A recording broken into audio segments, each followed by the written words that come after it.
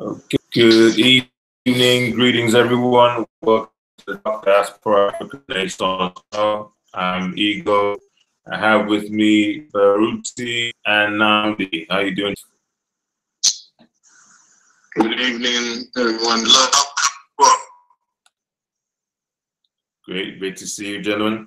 Uh, so, today's topic, I'll get straight into it. Uh, it's one that has been um, simmering under under the teapot for a while and has taken different dimensions uh, in different um, guys. But um, the topic for today is worlds collide, Africans and African Americans.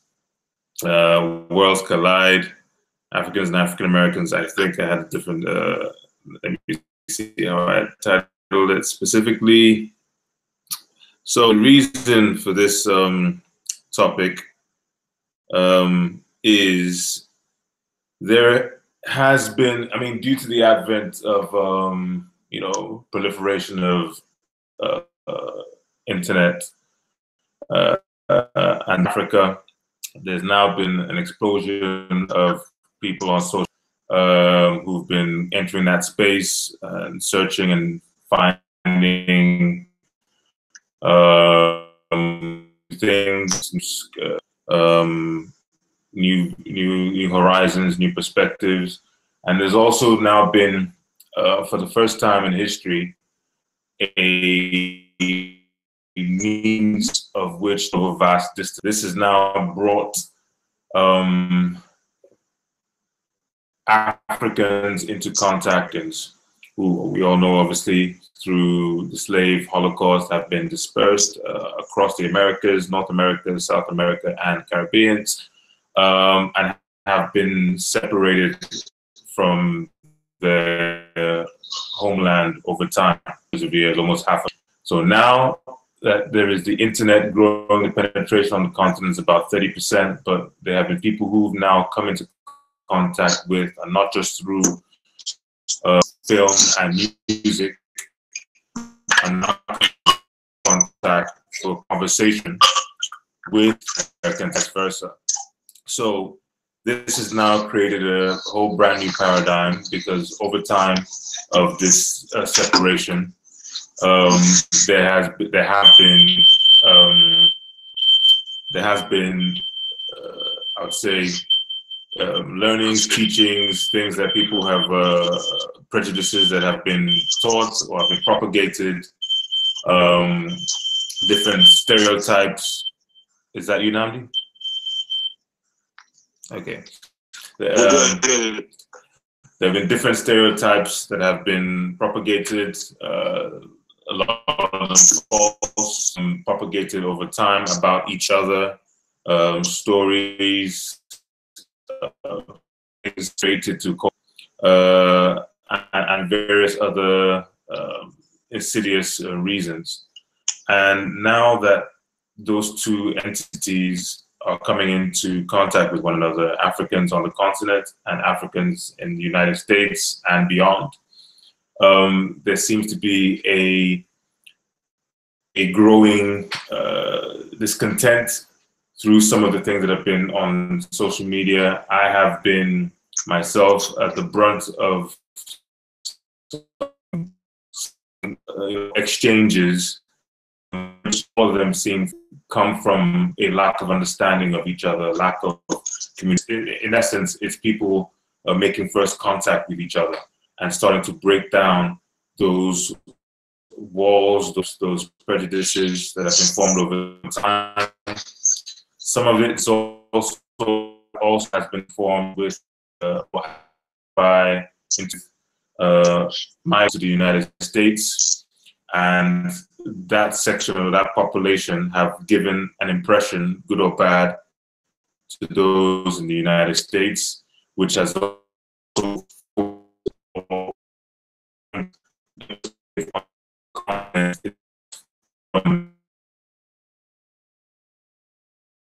just having this proliferation, different people coming in contact with each other and uh, some and we just wanted to use this show to try to figure out and discuss uh, what the dimensions are in these worlds colliding, uh, to try to create or devise a better way uh, of this interaction in bringing about a fruitful, long-lasting cooperation over time uh, to help both people on both continents uh, unite uh, for a determined purpose.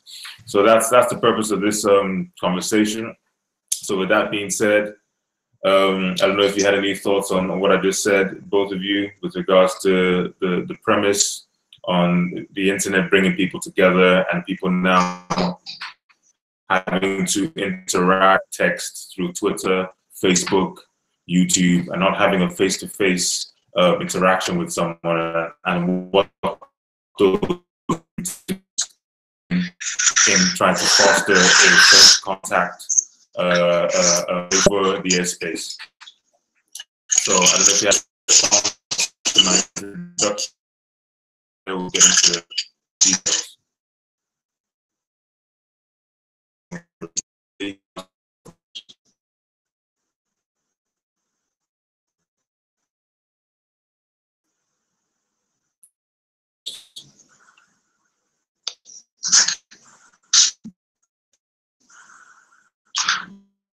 So, yeah, us the, you know, the if is used, um, can be used constructively and deconstructively.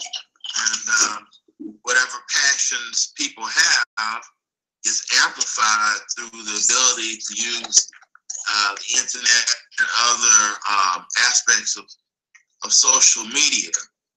So I feel like um, efforts to resolve conflict, conflict management, conflict resolution um, should be, you know, a primary importance to try to build both consensus and interface. Uh, so we learn to talk to each other, um, you know, not just at or around, you know, each other. Um, would be the comments that I would make, you know, just starting out, just in a way of kind of not the tone of, of the reach and the. Okay, Namdi, any thoughts into details? Um, yeah, I want to say that this um this discussion has been ongoing even before the advent of the internet. Okay? But it's been largely localized. But the advent of the internet, we're now on social media.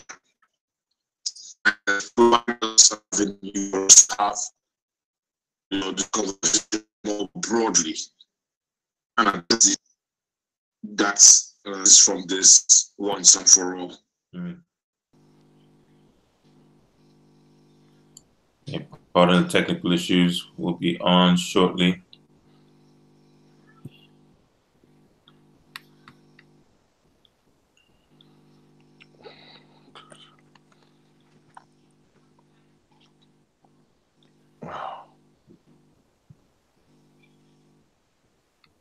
Very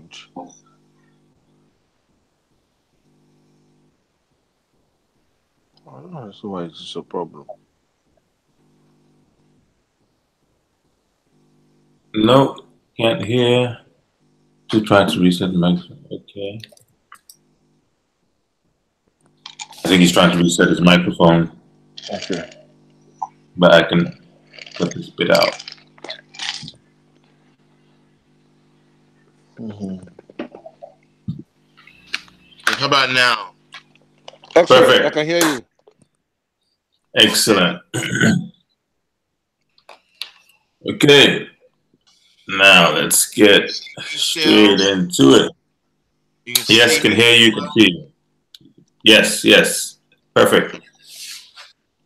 Perfect, perfect. Now, make sure. Okay. So, um, so as I put put forth the um, the topic. Uh, I know you gave me. Namdi was giving me his point of view.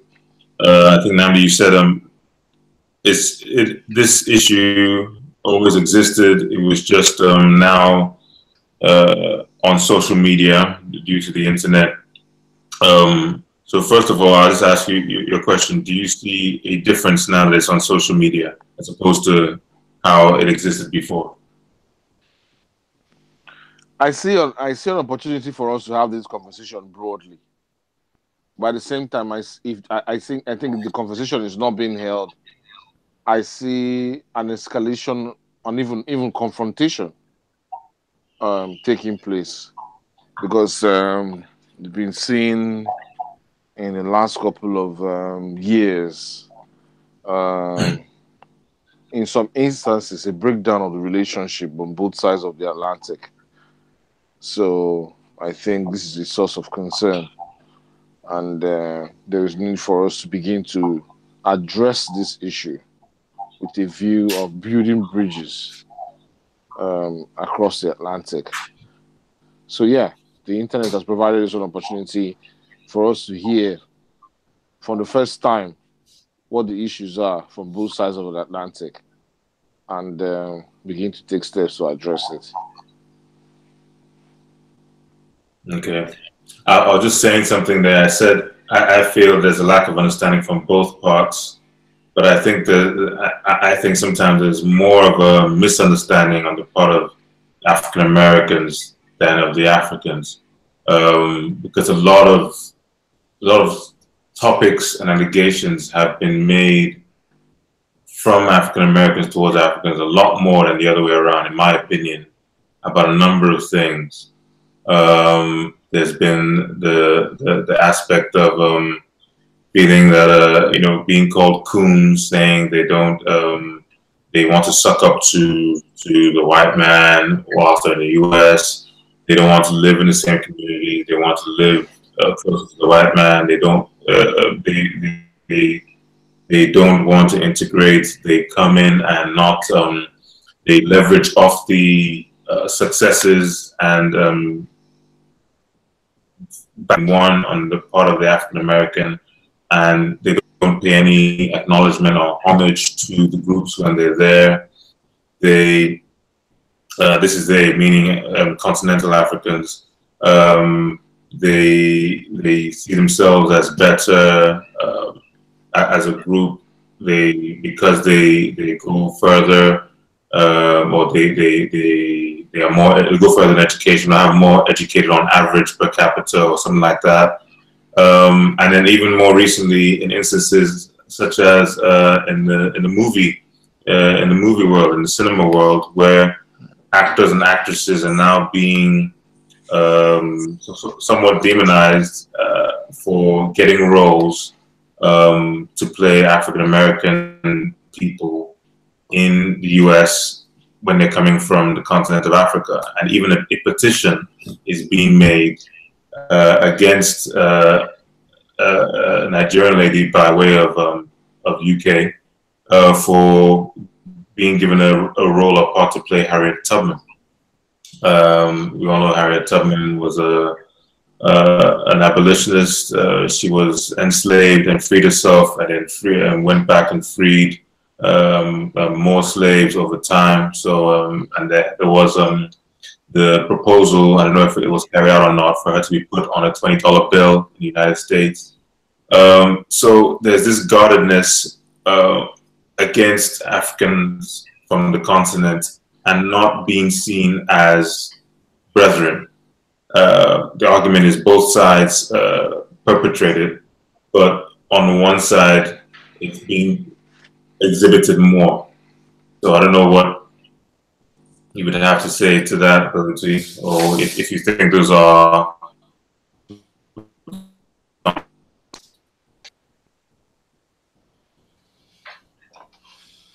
Well,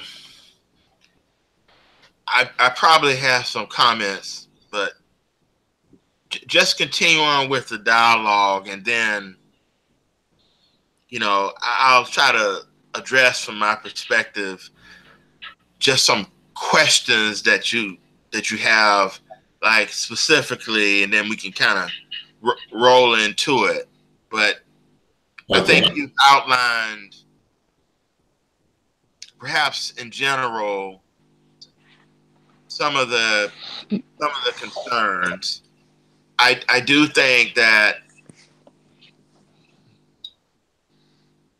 the complaints and some of the misunderstandings more so happen in the United States because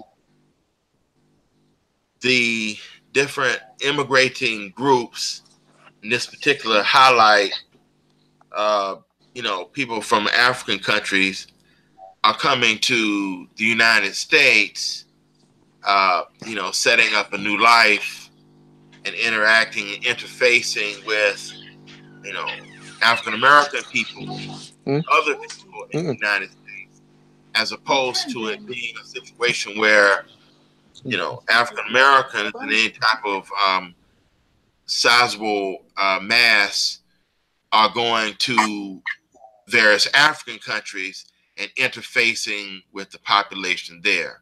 So I think that's why more of the weight of the misunderstandings uh, are being tallied up by African American people uh, and made as a challenge to uh, African immigrants here.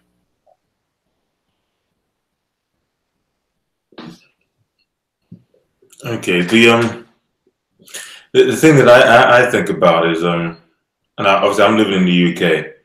Um, my thing has always been that this that this is more or less almost a natural phenomenon that it has been unfair to to expect the continental African to come en masse. We're not, we're not talking about you know people who like Kwame Nkrumah or individuals who've come and shown solidarity and and stood for things and fought alongside people. We're talking about people who who have left uh, their countries, their home countries, and families, and you know their lives to go to see greener pastures, and their only allegiance has been to go and see greener greener pastures that it has been unfair to expect them to have an obligation for all the things that have been posted on, on onto onto the of African being. They, they, they are impeding on some of their their struggles or ignoring some of their struggles um, not paying uh, um, acknowledgement to it, um, segregating themselves from certain communities. And my argument has been some some of these uh, histories would not be known to a lot of people who immigrant or migrants who go to the U.S. They wouldn't have any knowledge of this. They wouldn't have any inclination of this. Their, their, their first and foremost obligation would be to their families and to their survival and to um, their, their, their extended families in some cases. And case in point is, or to, to buttress that, is we, we've seen um, the accounts or reports of, of remittances to Africa um, in large numbers. So it just, that to me exemplifies that um, the, the purpose of being in these lands is not necessarily to even fully integrate into them. It is to go there for the purpose of uh, um, progress and prosperity. And once they have that, hopefully, I think the plan is return, build up um, um, the, the, communities or the families and be able to support them and to live that way. But I think the misunderstanding is that there's been a challenge when people have gone to that uh, to the United States to to trample upon the, uh, the African Americans there and and their their, their history and their livelihood. And I think it's been an unfair one. And but it seems to be one that's widely held, uh, which is just a thing that I'm not really sure that anyone has gone any way to try to explain that.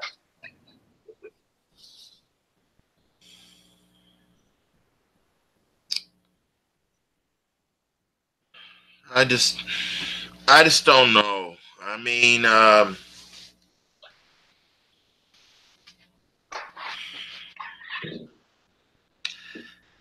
there just so many things I would probably like to say. I just don't exactly know where to um, where where to start. Um, why, why don't you just ask me some specific questions and I can try to delve into it as best I can. Okay. Well, I'll ask you do, do, you, do you think, in your mind, that there's an issue or a valid issue with some of the points that I've raised that Africans are doing wrong when they come over to the United States? That Africans should do or are obligated to do when they come to the United States that they're not doing? And if so, is this is uh, are they being sinister as been as has been alleged against them? Are they doing something sinister, or are they just, or as I'm saying, are they just pursuing uh, the American dream? Well, all right. If you if you look at again continental Africans coming to the United States,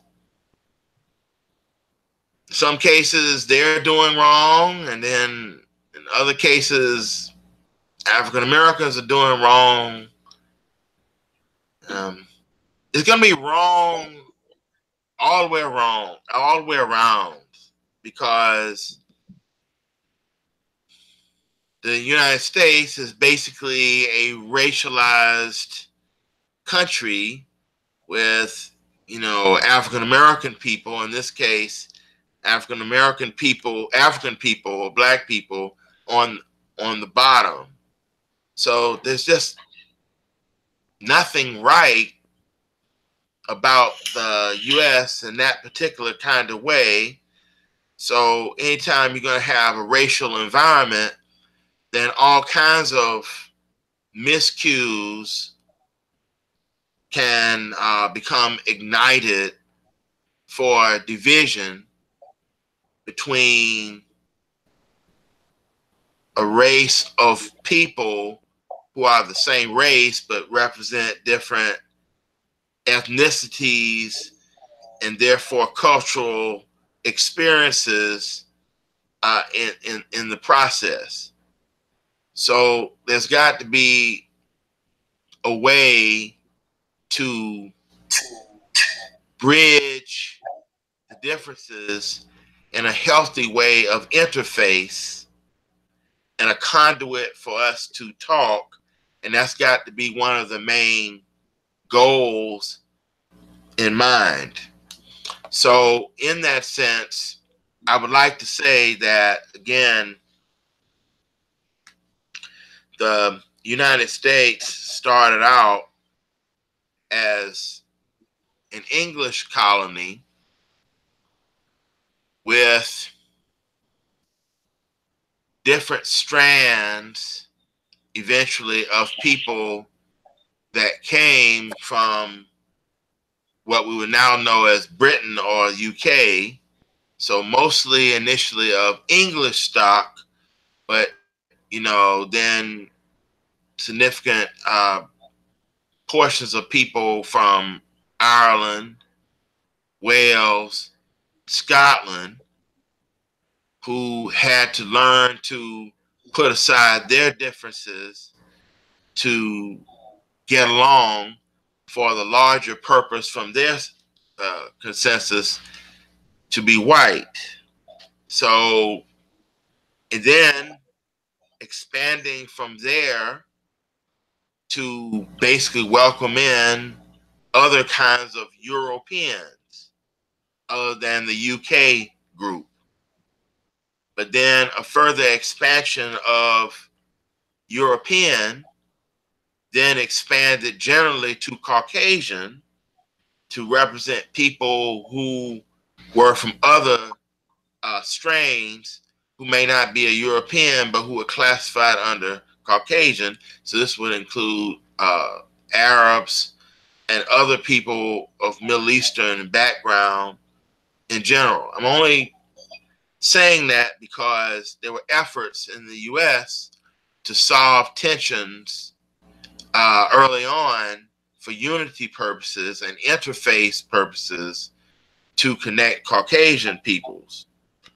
But because of the dynamics of the country, um, that hasn't necessarily been a complete focus amongst different African peoples uh, for the same goals. And because we haven't had that type of conduit and uh, interface for some varying reasons, um, we find a schism that seems to be widening, particularly with the um, advent of social media between or amongst people who see themselves as uh, immediate Caribbean immigrants, and then people who descend from that in the immediacy, and the same would go from immediate uh, or recent African immigrants and those children of African immigrants, and then you have the population of African Americans who have um, had ancestry uh, spanning back 400 years in the United States with different people at varying times in the history of the country immigrating in primarily due through different eras uh, of the slave of the slave trade. So um, I think we have to kind of get into those dynamics about why the interface has not taken place as much and what has been the barriers to the interface and what can be done to put a conduit and interface in time, uh, you know, put together an interface measure that will, you know, to continue to promote, uh, you know, dialogue and understanding as it will be best from a stress standpoint of all of the different African descended peoples who live in the United States, irrespective of how they got here and when and what time, to basically be able to get along here in the US, in the U.S. And what challenges will that um, will that entail? Hmm. And, and, and just to say, as, as the conversation goes along, my, my hope, and I'm sure it is the same as, as yours, is that we we come to the end of it with a kind of consensus um, in in in in mind of of the way forward, because I'm watching that, that a lot of what you've just said. Um, people are not thinking of our interaction with that background. They're not thinking of this this new interaction with that in mind. They're, some of them are thinking about it or coming to it with a kind of animosity already to begin with, with some falsehoods or some some other facts, um, and it's it's it's it's the basis of the way the interaction is now being forged that I think that is where the problem lies. Mm-hmm. Um, a lot of that needs to be dispelled, uh, disproven, and, and fully addressed before we get deep into it, and then we now start to need uh, resolution. So, um, I think, but, but there are a lot, there are a lot of things. There are a lot of things that um, you know, some African Americans have complained that Africans do that they don't seem to understand. Um, I mean, the HBCU is, is one point in question. Um, the sacrifices that African Americans have made in the US, you know, during Jim Crow, um, the March for Civil Rights, you know, even the slave revolts. These are these are price ultimate prices that African Americans paid to pave the way for continental Africans and the Caribbeans to take advantage of. As we all know, uh, a lot of the founding fathers from the African uh, African continent um, got admission courtesy of prominent African Americans to come and study in the US for free. The likes of Kwame Nkrumah, the likes of Nnamdi Azikiwe, the likes of Dennis Osadebay, the likes of Wanz- uh, Nwafor Orizu, and, and lots, lo- loads of other Africans who have benefited from the sacrifices the Africans Americans have paid. Um, you know, African Africans who are uh, African continental Africans who are residents in the U.S. I even go, I, I've even gone as far as even you know getting admission into Ivy League institutions, Yale, Harvard, Princeton, and just to, just to mention a few. All these were sacrifices that African Americans paid. I mean, they fought for segregation. They fought. They fought Jim Crow, and they you know they fought for the um, desegregation of schools in the U.S. You know, benefits of which a lot of continental Africans who are residents on in, in America have benefited from. Um, but we don't see any, any kind of um, recognition from the African residents in America of the sacrifices that these people have made. And I don't think that's that's that's that's unfair. What what So- what kind of recognition would you what what kind of recognition would you have in mind that you think uh, continental Africans who are in the United States should should demonstrate in, in, in order to, uh, in, in your view, show appreciation? Recognition of the fact that were these people were the ones who opened the doors for them to come and get their education. That is the truth. How do they not Recognition. show that now? How, how, how do continental Africans, in your view, not not show that appreciation? They don't even talk it. They oh. don't. They don't show it because they don't even discuss it at all. They don't discuss it. They don't even talk about it at all. And I don't think it's. I don't think it's right because they are benefiting from it. I don't think it's right. I think. But hold, hold on, hold on a second. But, but are you saying that a recognition should be shown that some continental Africans were able to go and study in the U.S.? Yeah, because schools in the U.S. before um, before schools were de- uh, desegregated were largely segregated. You understand? So they were limited. but, but why do you want Africans in general to acknowledge that? Shouldn't it just be because they are the families of those people? They are benefiting from Hmm? this educational system. Because of the sacrifices that African Americans have made, Africans can now on the continent get a scholarship straight to Harvard, get a scholarship straight to Princeton. Those ones that are residents in the US can even, you know, benefit from affirmative action. These were sacrifices of people who were who people African Americans have made. They, they, they, they, they, paid the ultimate price. They were lynched dogs were you know put on them you know i mean i listened i listened i listened to the um, um show that um, um Oshay and uh, a group of other Afri- african americans uh, um, YouTube, um youtube youtubers and uh, african uh, african youtube owners as well were discussing earlier. And and and you know it gave me an insight of um, you know the challenges both groups have faced. And you know issues that have been um, they, they've gone through that um, have um, you know in, you know indirectly built some kind of resentment underneath the surface you know? I mean this hbcu issue is just one of them. I mean i i know i know for sure that the likes of likes of Kwame Nkrumah, and Kwame Nkrumah is one individual that uh, African Americans celebrate because he was one he was one African leader who who really made an effort to bridge that gap. Okay, but he just just he was just one. There were other African leaders who benefited from that HBCU system. You know, um, I mentioned another one again, um, Nnamdi Azikiwe. Nnamdi Azikiwe was one of them. I mean, he got a scholarship to go to England to study, but he turned that down and rather chose to go to the United States to study. You know, again, another beneficiary of the HBCU. As a matter of fact, he set up a, a union called um, the the Igbo Union.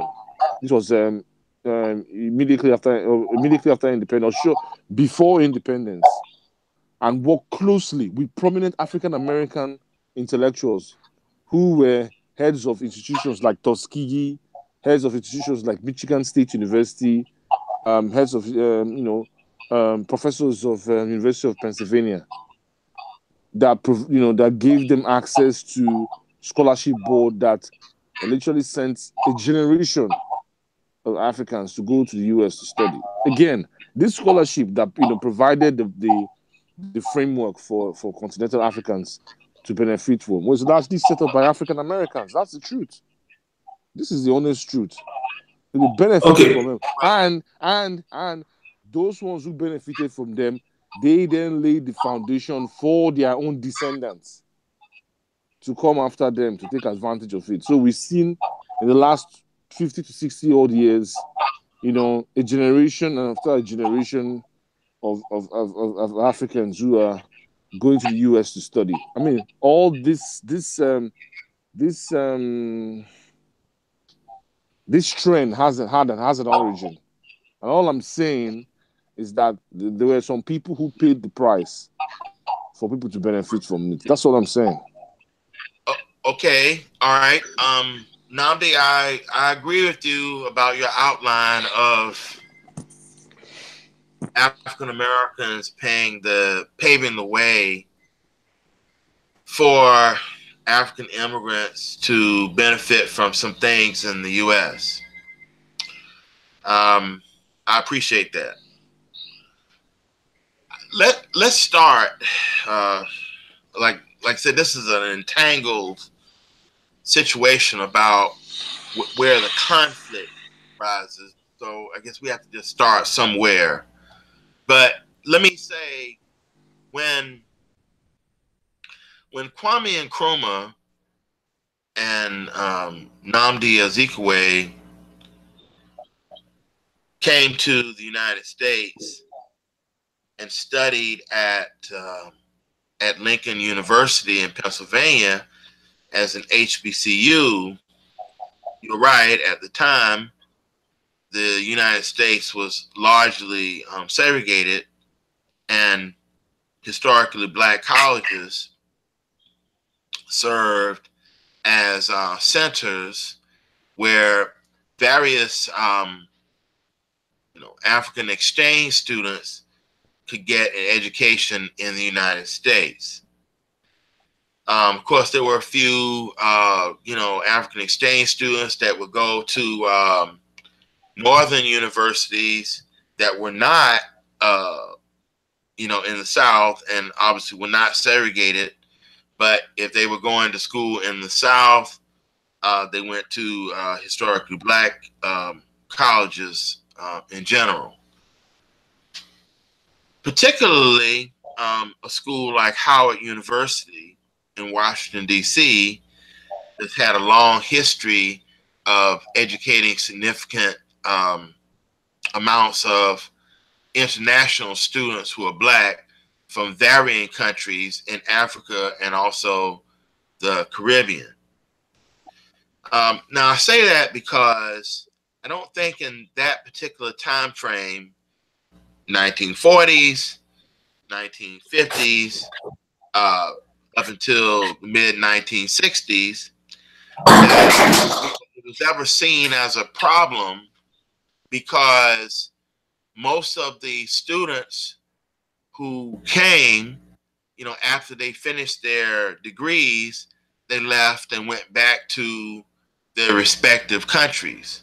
So the African American colleges that helped to educate them were seen as a vessel and a vehicle to, um, you know, launch the educational uh, careers and journeys of various uh, African peoples uh, in the diaspora and the continent for them to go back to the countries in which they came. So it was not seen as though these particular people, their families, and other people were making treks to the United States uh, in which um, whatever the struggles of the African American people were would be somehow impacted in a negative way by the presence of um, you know new black people who are immigrants. So you just didn't have that. So basically, before 1965, the newly arriving uh, black people who were immigrants to the United States were for a temporary period of time, then they left. It was only after 1965 that the um, floodgates of the U.S. in terms of people from uh, a variety of countries other than European ones were opened up for people to immigrate to the U.S. to generally become become citizens.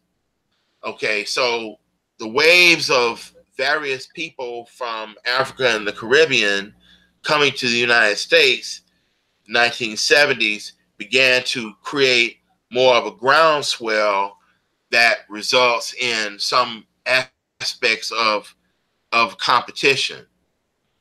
Okay, so again, in the US, you have this black population that's been struggling in all kinds of ways under different levels of white supremacy, um, trying to make inroads and gains, political levels, economic levels, uh, you know, trying to go through all kinds of protests to create affirmative action programs that would um, try to level the playing fields in terms of, you know, jobs, professional jobs, particularly in industries that black people have been barred from.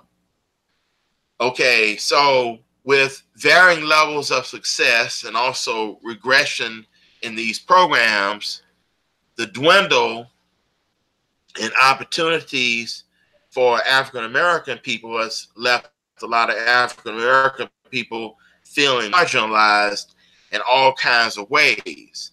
So the grievances that African American people have had have not been addressed before more significant amounts of uh, black people who are immigrants to the U.S. have come and multiplied um, might have a different agenda and different perception of the United States. For them, it might be, you know, strictly looking for a, a, a better life without in any way feeling any kind of baggage about struggle in the U.S. from a black pr- perspective. Um, so, and some of it has been kind of like bad timing, and also uh, because of the marginalization in the U.S. of the African American population, there are all kinds of uh, tensions and negatives that's built up between whites and blacks were already here.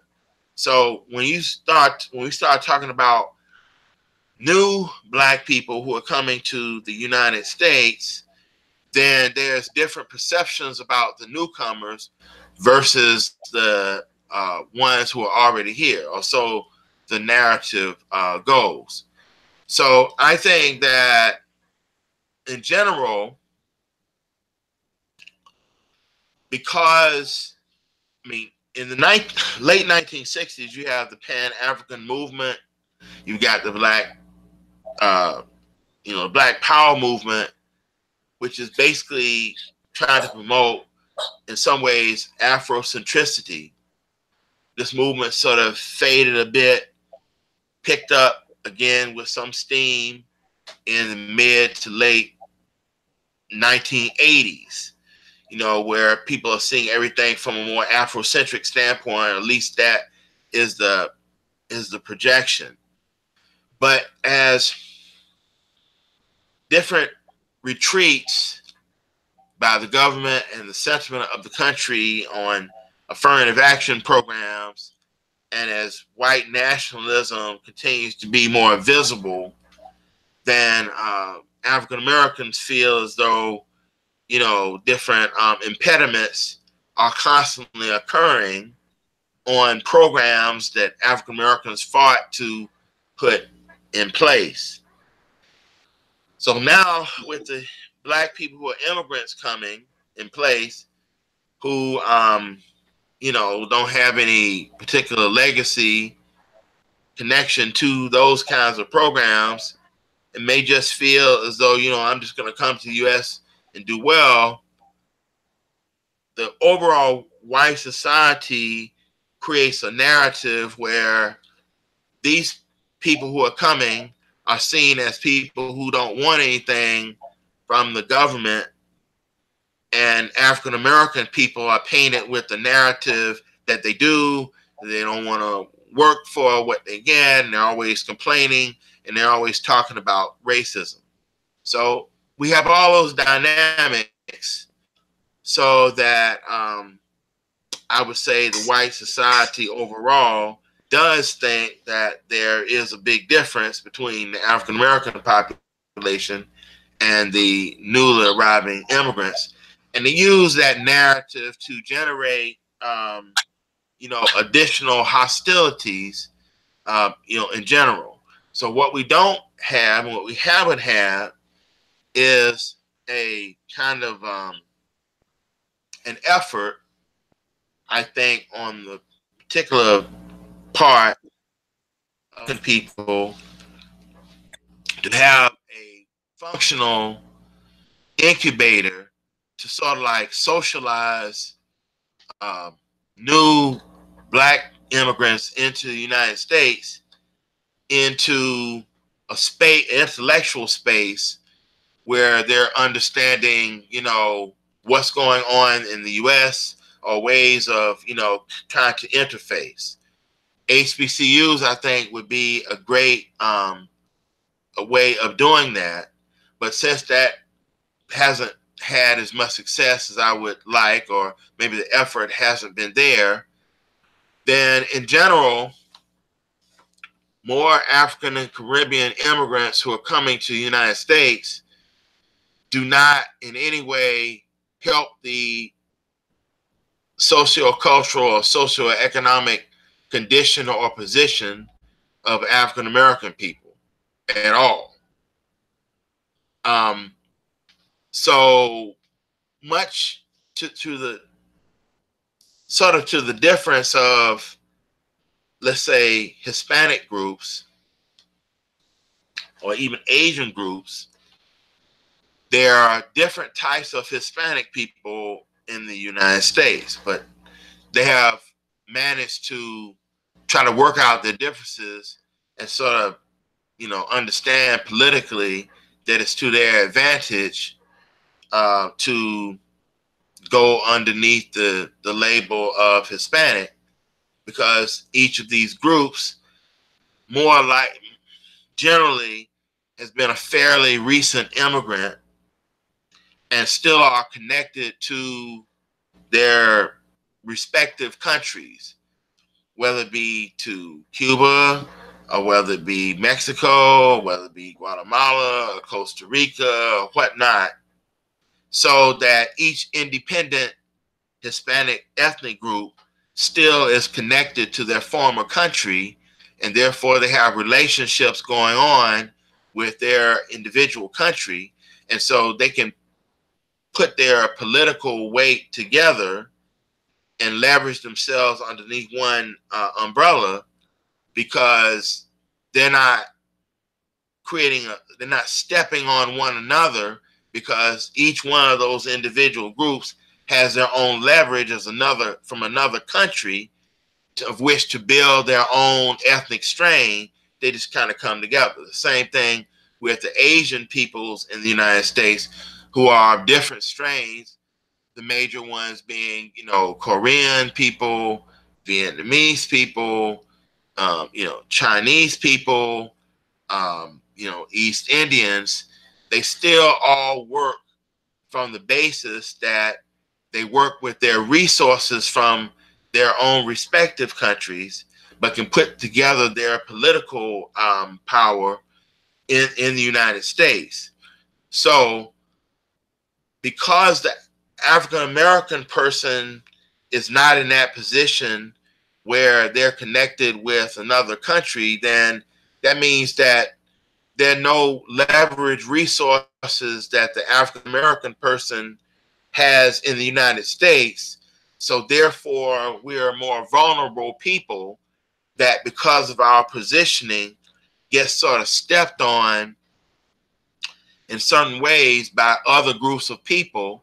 And then on the racialized hierarchy, coming on the the bottom end of the racism, then other groups sort of like move ahead.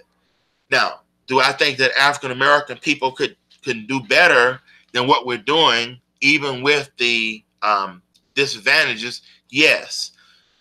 A more Pan African attitude amongst ourselves, um, you know, uh, cleaning up certain views, values, and habits that may um, sort of bring down certain segments of the community.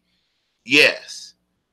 Um, but we are kind of a disadvantaged group because we don't have a connection with another, in my view, uh, an African nation by which to call a, sec- a second home. And I think that all of these things kind of impact the um, the relationship, and also when people from the continent or the Caribbean come to the United States, um, they're being filtered into the United States with certain negatives about African American people. And this affects the kind of African American people they may come in contact with based upon the stereotypes that they're being fed and also um, some of the self fulfilling prophecies that they may see among certain segments of the African American community that um, that you know kind of give rise to the the stereotypes. Let me say this one thing. I'm sorry to be so long winded, but I it was the best I could do in terms of trying to get into the complexities of what you're you've both of you have sort of um, brought up. Um,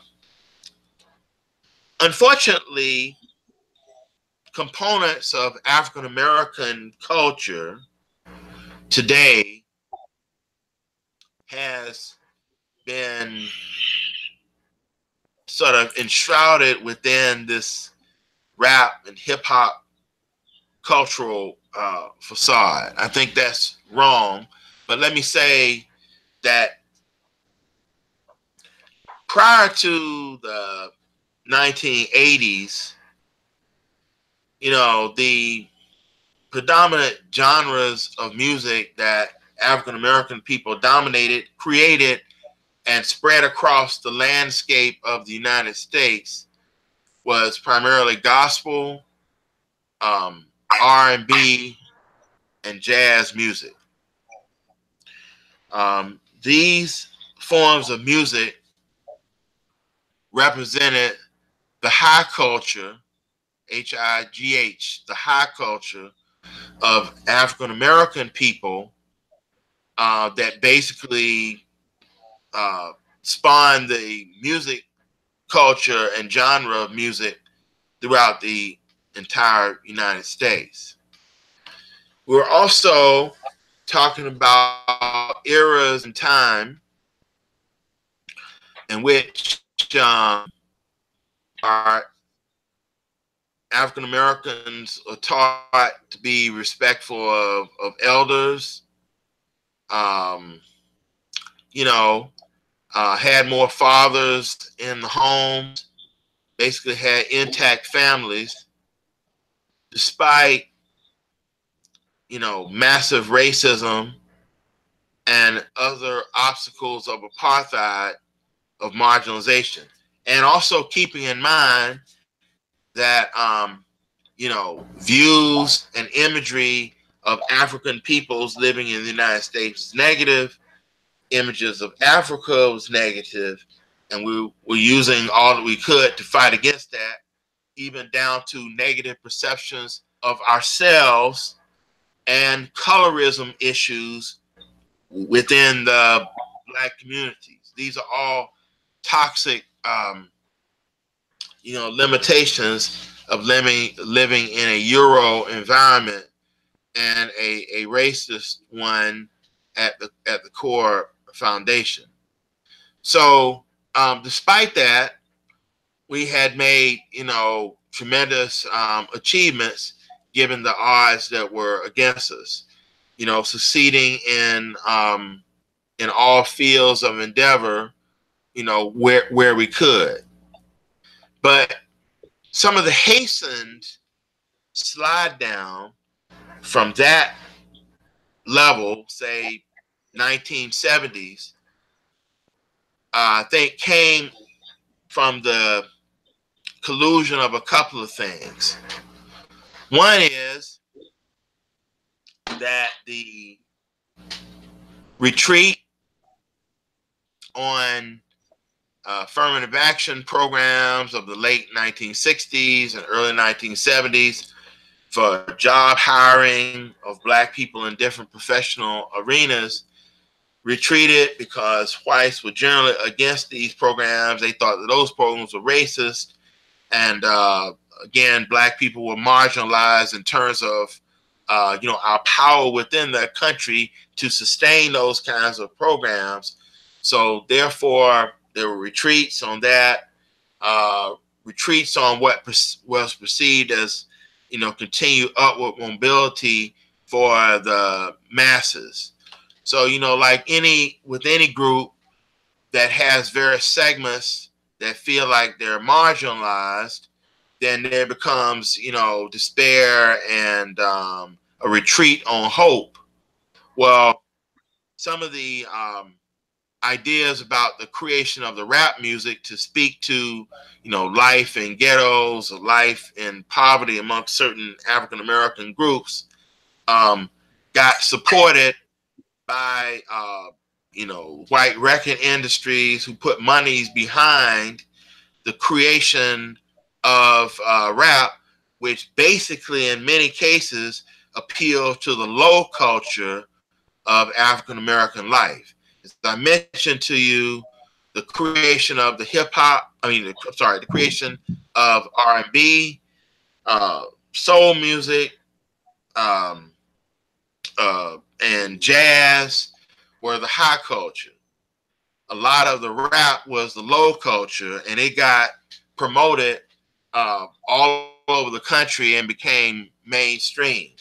Some of this started taking the African American people, some aspects off track in terms of respect for authority, how people present themselves, the language uses toward other people and to themselves, uh, you know, all kinds of, um, you know, n- negatives um, because people began to see themselves as, you know, a downtrodden community. And this is the way we we're going to solve problems you know, con- without conflict resolution, just violence, etc.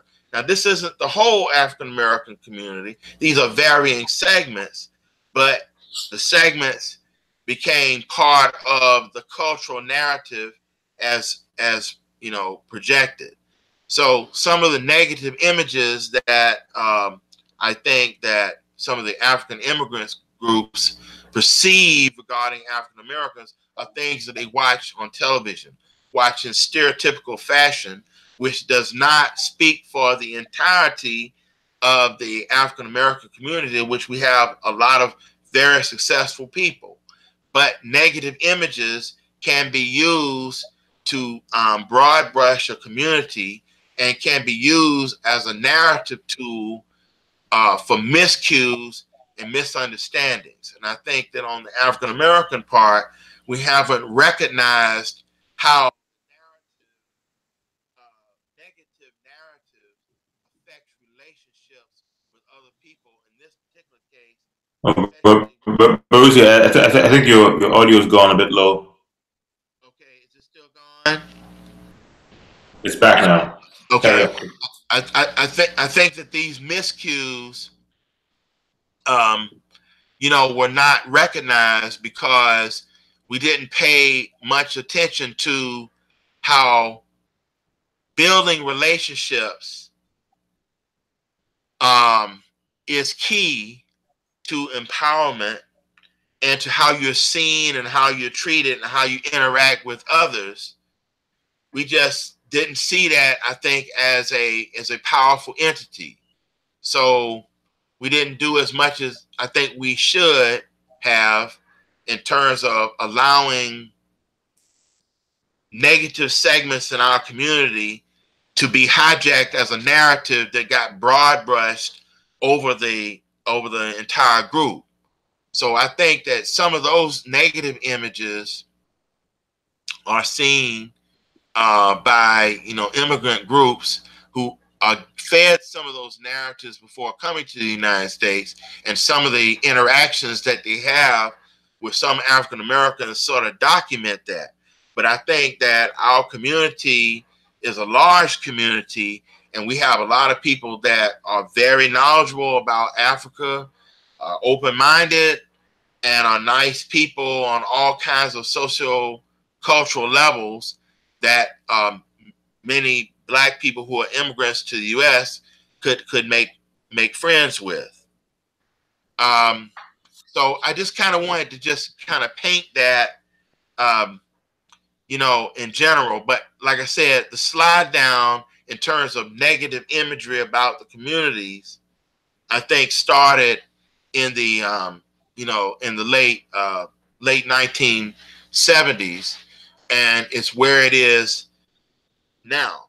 But other negatives, um, you know, kind of do take place because when many of the African and Caribbean immigrants come to the United States, they quickly see that African American people are thought of in a negative sort of way, and they get the impression that if they stay away from African American people, which some are encouraged to do in general, they feel like they may be better off, or that um, somehow their their journey in the United States is going to be different from the African American person as long as they can distinguish themselves in, in, in that in that regard.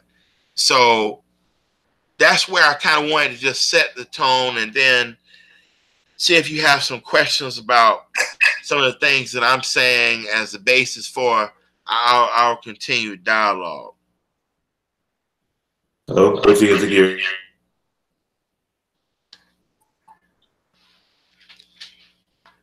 Okay, th th thank you, Baruji, for that very detailed account of what, of the perspectives, from your perspective, of, of the genesis of the initial integration and how things um, were perceived at the time and how they grew and how things have come to be the way they are possibly decayed over time. Uh, one major point I wanted to pick out from what you, uh, you described was the intergenerational um, shift. I think from as you said, yeah, from the 80s, from obviously the high culture now moving to more uh, focus on hip hop. Uh, I, I think that is quite significant because the generation before were the ones who just came uh, post Black Panther, post uh, Martin Luther King and, and the marches and fight for uh, uh, civil rights from the 60s. Those were the people who potentially had a more African centered or centric uh, out, outlook or, or perspective. Um, but following from the 80s, and this is my, my opinion, following from the 80s, that has changed somewhat. It's become more of a uh, potentially self-centered view now coming from the culture of say hip hop and R&B and the younger generation who um, didn't uh, no longer pursued um, their parents' uh, agenda, so to speak, because perhaps there was no direct need to. There was more of a self-centered uh, uh, focus of getting money because a lot of hip hop then was uh, came from a lot of young people being able to pursue money and not. And then obviously there was also the introduction of dr um, drugs into um, communities at the time, which also caused, caused further decay with, with, with drugs and, drug wars and, and, and, and things like that. So I understand that that perspective, and I think it's a very significant one because I've always said that I think this generation um, don't really have uh, an African-centered viewpoint or agenda. I don't think there's any kind of movement right now. I mean, the most popular movement in the U.S. is Black Lives Matter. Um, but I don't think there's any significant move. I mean, we have other ones like the Black Israelites, the Nuwaubians, Black Hebrews, and all those other groups, and then even the Nation of Islam. I don't see any group that has an agenda focusing or facing Africa, either for return, either for engagement, either for um, uh, collaboration or cooperation. I haven't seen that group emerge, and and and this is obviously stark contrast to the 60s and the 70s. So I think there lies we are now seeing the bottom end today. Right. TVs now 30 years old, and now having under a purpose for Africa. Now in and now uh, having to inter uh, interrelate with people from the continent and vice versa, having to discover what purpose of this interaction is. Um, um, everyone having their own views about what they are, where they are, where they're from, and not having to back down or concede or even entertain any kind of um, concessions in the ideology. And that's what we're having now. I think some part was lost, and I will speak also on uh, on the side of, of, of Africans. I think there more so it didn't even really exist.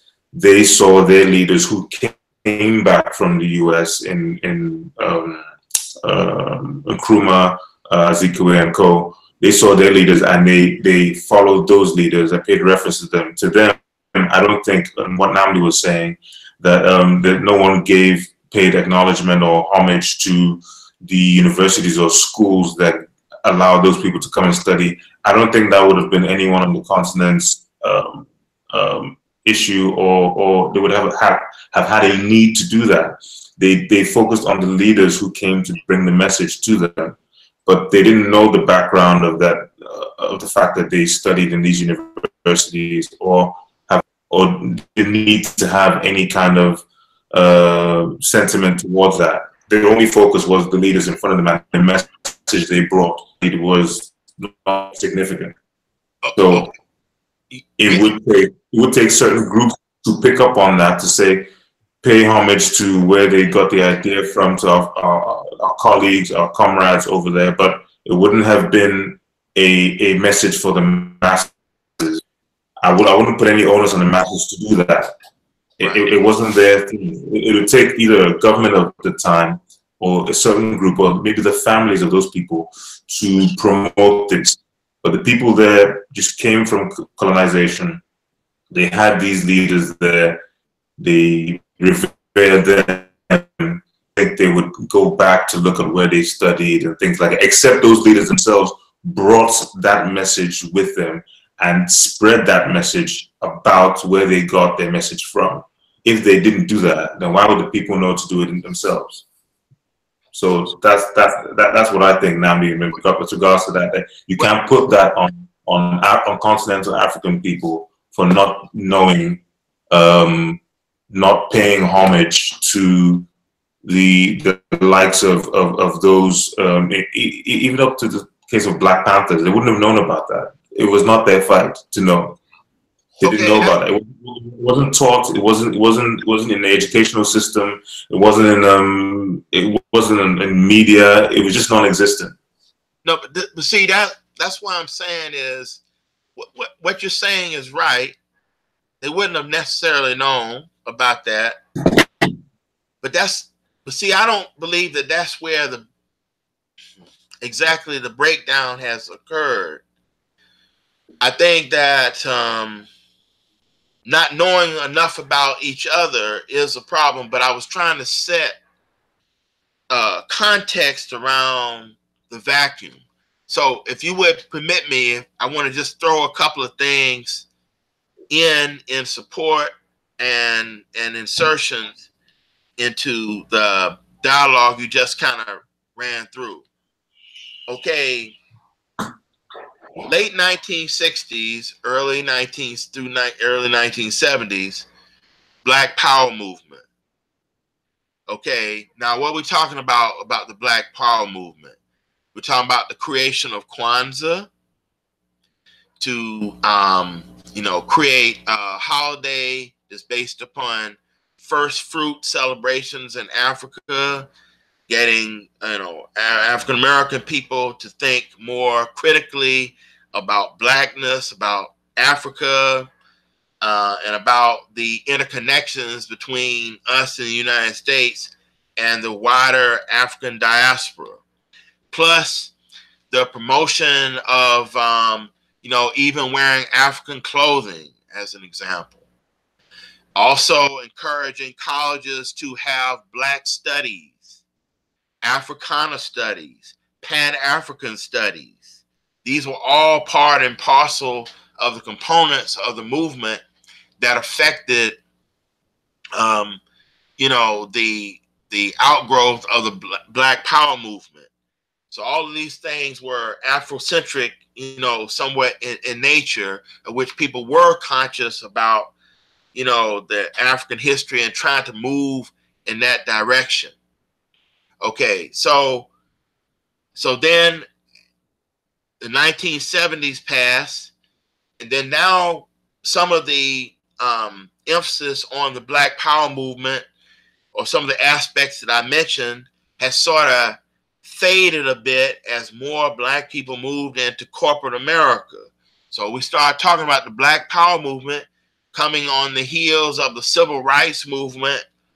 Then you have affirmative action programs, then people sort of move into corporate America and think they're sort of moving on up just when the the uh, TV program The Jeffersons was was on about the rise of black people moving from one economic level to another. Okay, so some of the Black Power movement imagery sort of fades, but in the mid to late 1980s, the Afrocentric movement sort of resurfaces in another form that I think kind of is an extension of the Black Power movement in which now you have on lots of lots of college campuses, you know, um, a resurgence in uh, you know wearing of African clothing, being knowledgeable about what Africa is, the Im- positive images of Africa.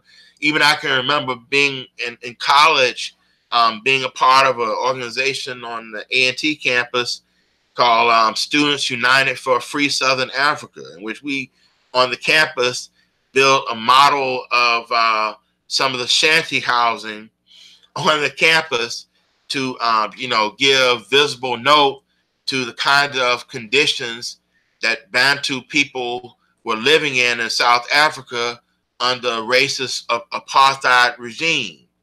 So you had that kind of consciousness go, going on. But what we have to remember is even 1980s and before, there were small, small amounts of African and Caribbean immigrants to the United States who were actually now making the United States a second home or, or a new home.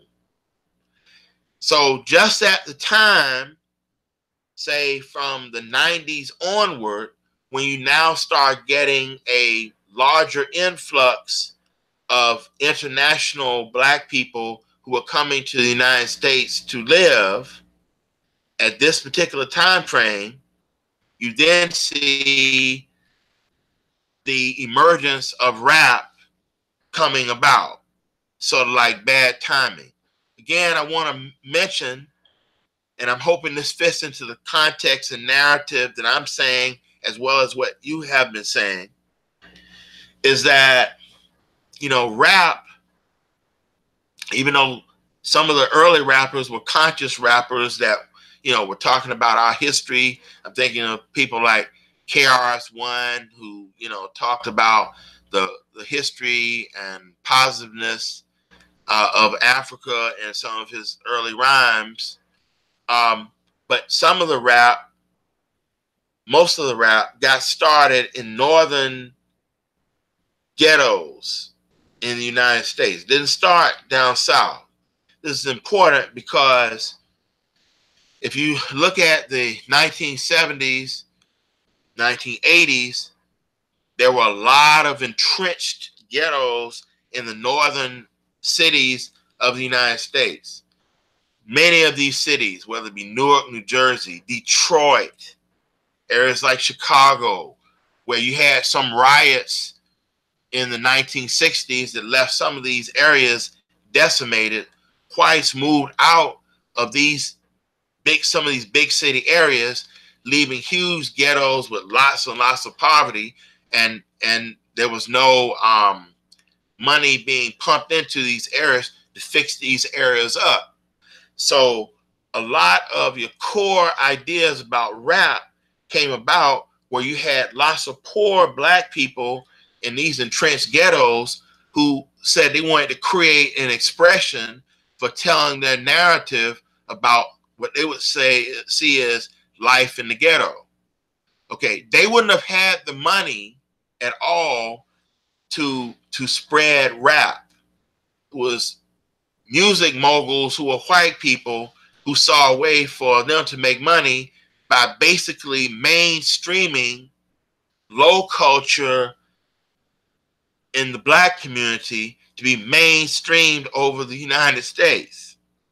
And this began to affect how people talk to one another, the increase of using the word nigger all the time publicly, uh, how people saw authority, how people saw their parents, and in some cases create breakdowns in discipline at home and the way that black people projected themselves. Wasn't across the board, but it was enough uh, segments within certain cultural constructs of the African American community that as this narrative became broad brushed, African American culture became known synonymously with rap and hip hop, which, if we can see the promotion of rap and hip hop came just about at the time that more and more immigrants, black people from Caribbean and African countries were coming to the United States. So, large quantities of people from the continent who were coming to the United States, regardless as to what they thought about African American people upon coming, or what they were fed in terms of propaganda, were coming at a time in which the hijacking of African American culture based on a whole lot of positives was being broad brushed with negative aspects. And I think that this is a critical piece in terms of what we see now in terms of you know perceptions. And again, the African American or the black population in the United States is at least about 50 million. So if we were to remove out you know, African and Caribbean immigrants, which may be about 4 million out from that group. Let's say for round figures, let's say we got 45 million African Americans, we got 5 million, you know, immigrants and their children who are black. Um, I think that we have a lot of African American people who, you know, would be model citizens and would you know, meet various African people halfway, particularly if we see that, uh, you know, a large proportion of people from the continent who are coming to the United States, you know, do have degrees, do have certain kind of economic status. We have that in, in the U.S. already. It's just that we're talking about more of a select group that's coming to um, the U.S versus having everybody here in the U.S. amongst the African American group. So if we thought that 75% of the say African immigrants, let's say those are about 2 million versus the Caribbean, maybe another 2 million, but let's say of the African immigrants. So let's say we had, um, let's say we had a million and a half, as an example, of the African immigrants that were well educated, uh, were middle class, we might have 25% of the African American population that's already here that may have those same type of um those same type of stats. Okay? And so therefore we might have about over 11 million African American people to have the exact same socioeconomic profile as in the example the 1.5 million African immigrants. Okay. So we've got, you know, competitive groups. We just have some areas of negativity that get broad brushed. And I think we just have to mm-hmm. keep that in mind. Let me just say that. Okay, yeah, yeah, uh, I hear that, and, and that those those are very valid points. Um, I, I still, I still feel though that even in saying that the the general sentiment um, is one of of distance, uh, and no, no no matter how much interaction is happening now, it seems that um, there is a there's a barrier and a lack of understanding, um, and and and you know some some African Americans saying things like um, they want to go back and help, or, or, they might want to go back and help. You know, words that might be perceived as condescending or being used. Go back and help Africa, um, rather, rather use the words collaborate, use the words uh, cooperate. Uh, um, I mean, those then, are different issues, though. Those, those aren't those different. I thought we were talking about. Let me see. Make, make, make, make sure I can understand here. So when you mention about that part, that that's that isn't that something different than why there is a, a, a clash. I mean, I can I can get into addressing why people are saying they want to help, but is that is that going to be a source of why there will be clashes based upon the rhetoric that you hear now? No, no. Uh, well, we're not, we're, not, we're not just talking about the, the sources of the clash. We're talking also, uh, well, we'll talk about the sources as well, but also in the clash when the interaction is, is ongoing, um, how the the conversations are being held, how messages are being delivered and being received on either side, as it as it happens over social media, over the internet, textually, sometimes visually, but not in a real like you're not going out to, to a restaurant to have a meal, going to watch a movie, or taking your kids over to someone else's kids. This is just impact like this right now, speaking to you, speaking to me, a message being sent across, and maybe not enough time for it to get resolved. Uh, not having the knowledge, as you're talking about, uh, about the history of how things have come to be, and it's good that you're going through them now, because some people wouldn't have that context. Some people who are in the late 20s or early 30s won't have that context because they've just grown up in a society, as you said, post 80s, where they don't really know about what happened before. Uh, they're just facing them now. And now it might just be, what can I get for me? Not not knowing the need, not having the need to pay any homage to anyone or or pay reverence to those who have fought for uh, anything in the past. And this applies to people on the continent as well. This is what I'm trying to say.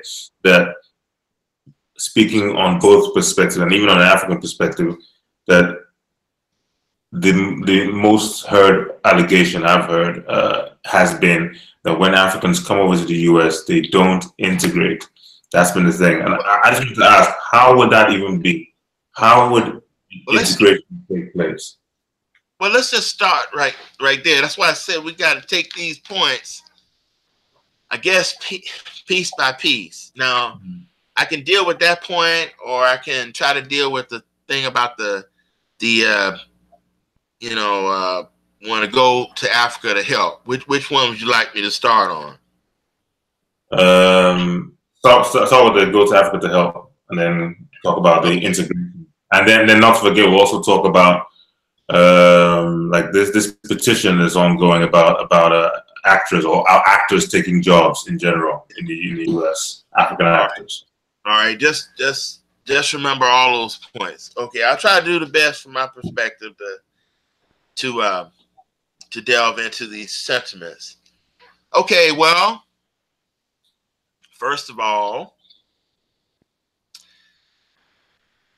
most African American people are somewhat based in the United States, as in not necessarily traveling as much to the continent in general. Um, some might be lack of exposure. A lot of it has to do with economic resources to go, you know, to go um, b- back and forth. Um, it should be said that the United States overall has a low percentage of people who have passports.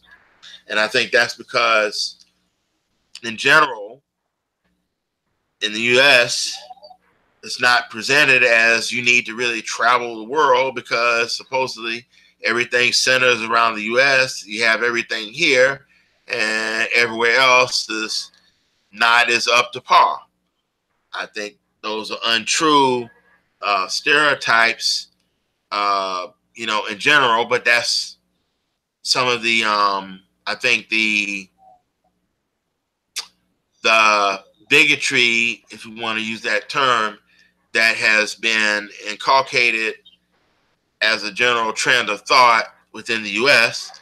And certainly African American people have a low percentage of people who have passports and all like that, though more and more African American people are are definitely traveling, you know, outside of the United States, even if it is in terms of you know like cruises to the Bahamas and to places in the Caribbean. Okay, now ha- having said that, uh, the perception about helping Africa comes from I think a couple of places.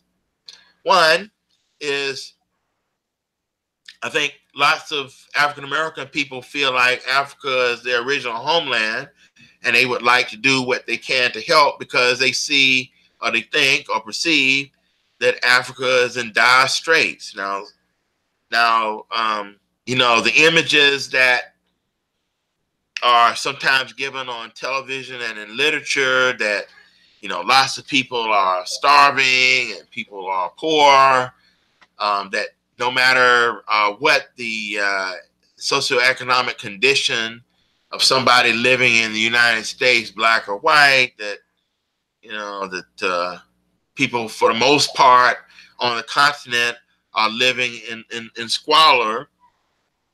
You know, seeps into people's minds. That's one.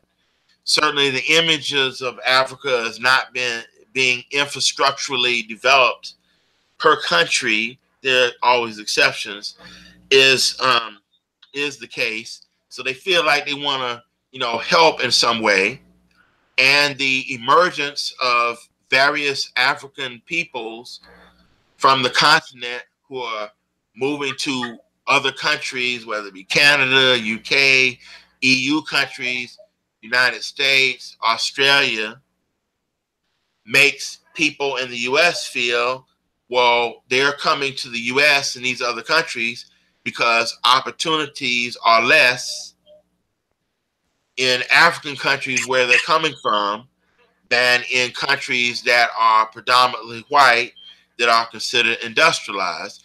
And so people are thinking, well, if African countries were better socioeconomically uh, and in other sorts of ways, people would stay in those countries.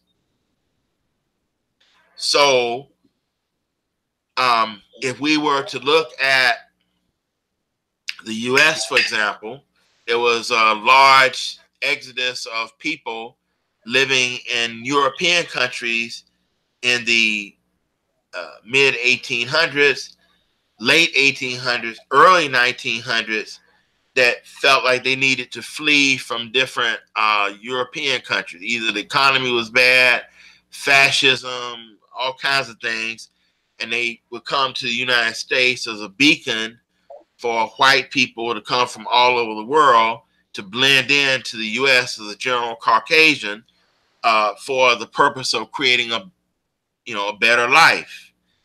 So the trickle of Europeans or the European flow dwindled and dwindled down as the 1960s approached because the economies in Europe increased. So there was no real need for massive amounts of Europeans to come to the United States seeking a better life when they could basically live the same way in Europe as was perceived of living in the United States. So, as the uh, civil rights uh, laws got put in place, where at least on paper, black people may not feel in mass that they had to be completely confined to menial menial jobs. Uh, and they could rise in the U.S. with um, different acquisition of, of skills, etc.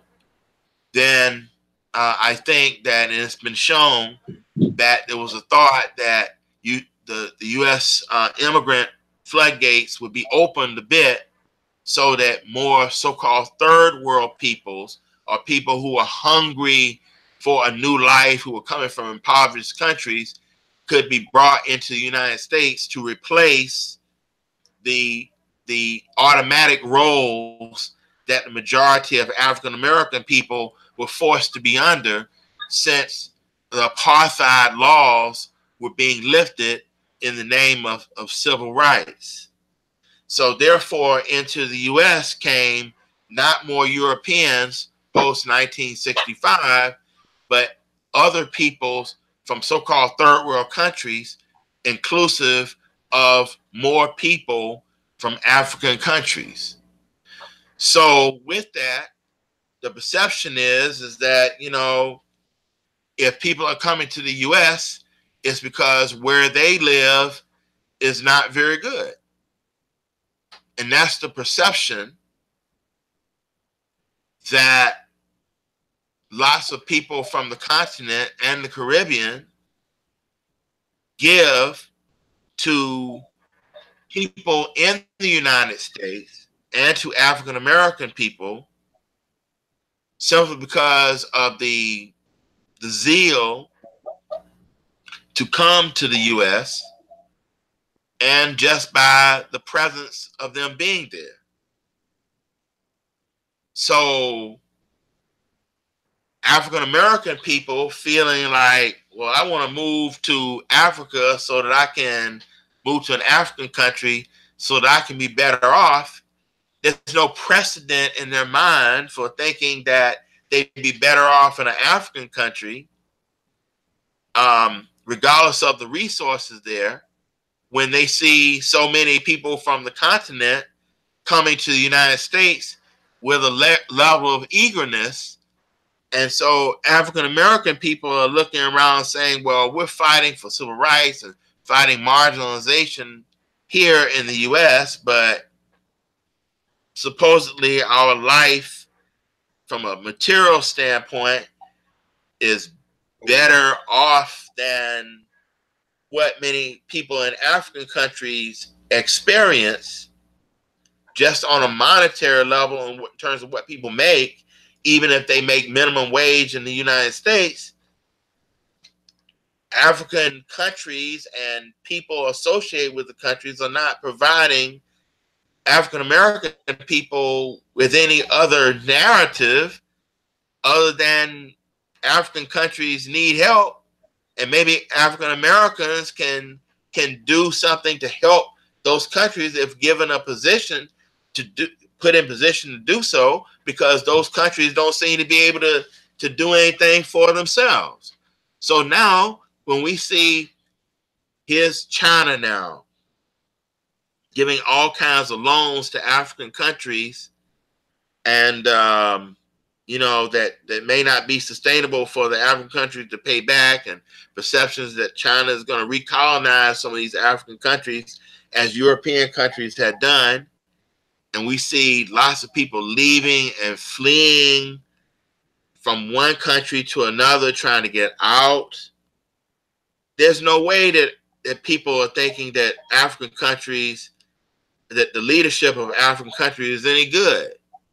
There's just there's just no way. They're not giving anything, any, any idea. It's like it's a mess. What are these people doing? Are they idiots? And that somebody needs to help them. So that's that's the reason for you know for for that. Now, if African Americans saw that lots of people from the continent were coming to the U.S.,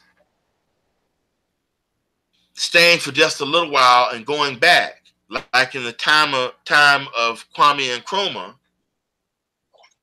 then and then building the continent to a certain level that resources were being used adequately. And then people from the continent said, well, hey, this is what we're we're building right here, and people could see all the progress, you know, under African tutelage, not China building all the re- uh, building the infrastructure. Then maybe African American people might say, "Wow, well, if you're gonna treat, if we're gonna be treated disrespectfully in the United States, perhaps there's a better life in an African country, and we can see the um, we, we can see the results of it. In fact, sometimes, uh, you know, Nnamdi said at the very beginning of the program, he said, "Well, certainly, um, I as an African American people person might hear various things that people say to each other. Well, I want to mention one, and this is sometimes a joke that some people have told. The joke that some people um, have told is that if lots of African American people were to leave to get on a plane um, to go to Africa, to go to various African countries, they have to wait a long time for um, the the plane to become empty to take them to Africa because there'd be so many Africans who'd be trying to get into the United States until they would hold up African American people trying to leave to go over there. So that, in a nutshell, um, you know, I think is why a number of African American people may feel the need to want to help the continent because the images are so so bad of the continent, sometimes lack of exposure, and because they wonder, well, why are so many African people coming to the US if Africa was better? Just in the same way as white people in the US believe that European countries are doing good because of the infrastructure that they see and also they don't see a mass uh, exodus of people from Europe today that are coming to the United States? Well,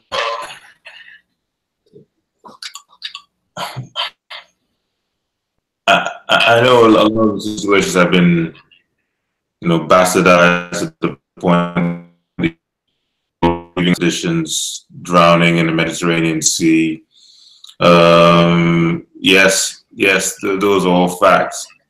But I, I think the, the uh, approach, if that is the one that you've painted, would be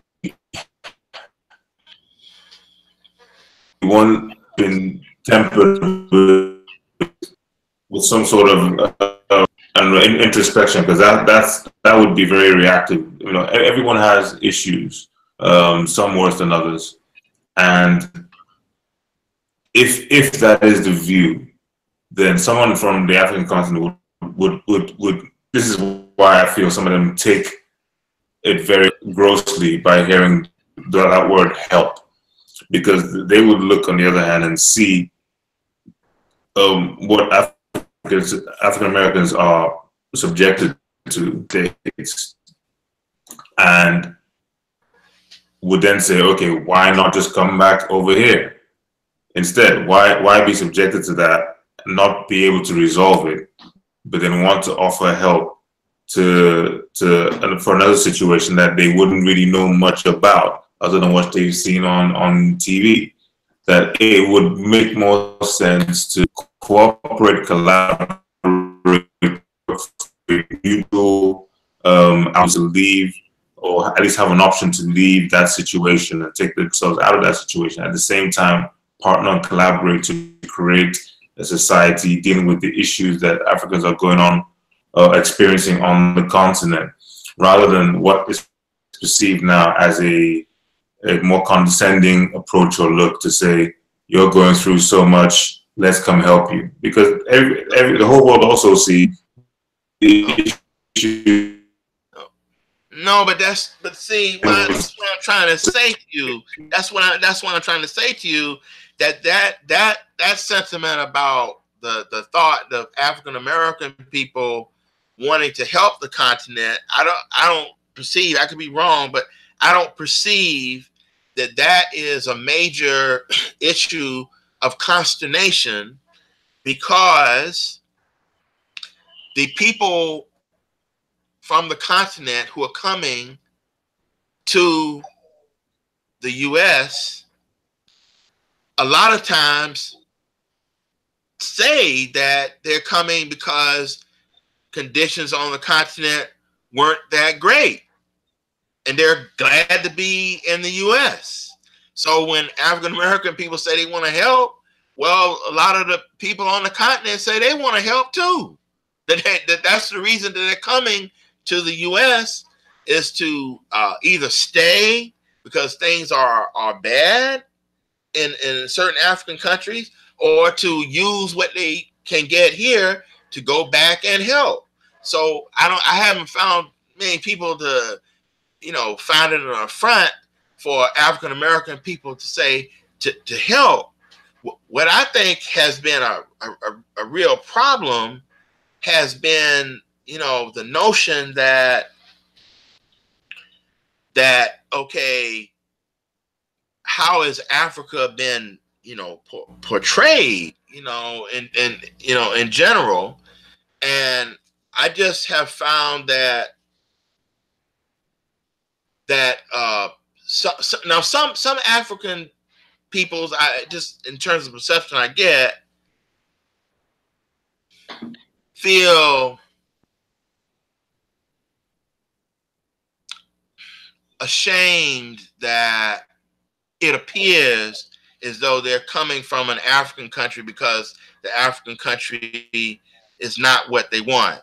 So they might try to boast to African American people, this is Ghana, this is Nigeria, and this is who we are. And then African American people feel sometimes put upon because they think that the African person is thinking that they're better or they're talking down to the African American person, like, oh, you people don't have any particular culture. Let me show you what being an African is about, or you're not as much of an African as I am. And then the African American person might be like, well, wait a minute. All right. So since you're coming to the United States, you're not going to disrespect me here. If you think that the African countries are so much better, or you think that you're better because you're an African, why don't you go back there? See, that's where that idea comes about um, because sometimes I think people feel a certain kind of way that they're in the United States, but they're trying to make African countries that they may come from seem like they're great places. And some African American people in heated discussions or not knowing someone's agenda see that as a contradiction. I mean, they, they do. They see that as a contradiction. They're like, why don't all these Nigerians and Ghanaians and Senegalese and Kenyans and these people, uh, you know, go back to the countries that they are from and build and build those countries up? So, if, well, well, if you were to, I think, there'll be a simple, simple answer to that. I mean, in the UK, I'd say the immigrant population, this is by census figures, would put black people, and that means from different countries, about 3 million, give or take. Now, that's like a drop in the ocean for the population on the continent, going towards a billion. So the perception would be wrong to think that people are just fleeing in such huge numbers as to depopulate the, the, continent. It's just those, most of the time, who are privileged enough to be able to even get get get the amount get the plane ticket to even make that venture a journey to try and make their families' lives better. And they're usually taking care of a larger number of people back home. So it's not it's not uh, up until recently with the mass migrations to Libya, and that really is because of the breakdown of Libya. And, and, and the, the, the advantage or, or, or the possibility of them crossing the border. If, if Libya didn't break down, that wouldn't have happened. Basically, no. would have happened. People, people have been using traditional means or other parts to better their lives. That's that's what would have happened. So the Libya thing makes it look like as if it's a perennial thing that we were all doing all the time anyway. No, Libya intervention was by the West, and because of the breakdown of Libya, it created this avenue for people to actually do that. And people started telling others, learning about it, and started flooding. But that wouldn't have happened because it's never happened previously in our history. No, but the Libya, the Libya thing is a recent piece um, that's been, you know, highlighted about the exodus of people from different African countries trying to go through Libya and other places in North Africa to get to Europe. It's it's been projected that way. But I'm talking about overall. See, you mentioned that look how big the continent is in terms of population.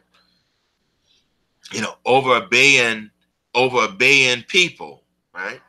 And so you're saying, well, you give me an example. You're saying, okay, well, if you look at black people overall in in the UK, you would say there's three million, and obviously out of that three million, all are not coming from African countries. Some are coming from Caribbean countries also, right?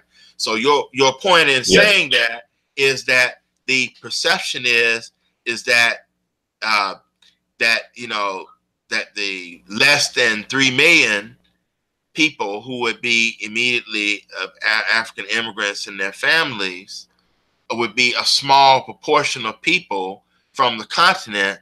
So how would that even be rational to make it seem as though everybody is trying to flee?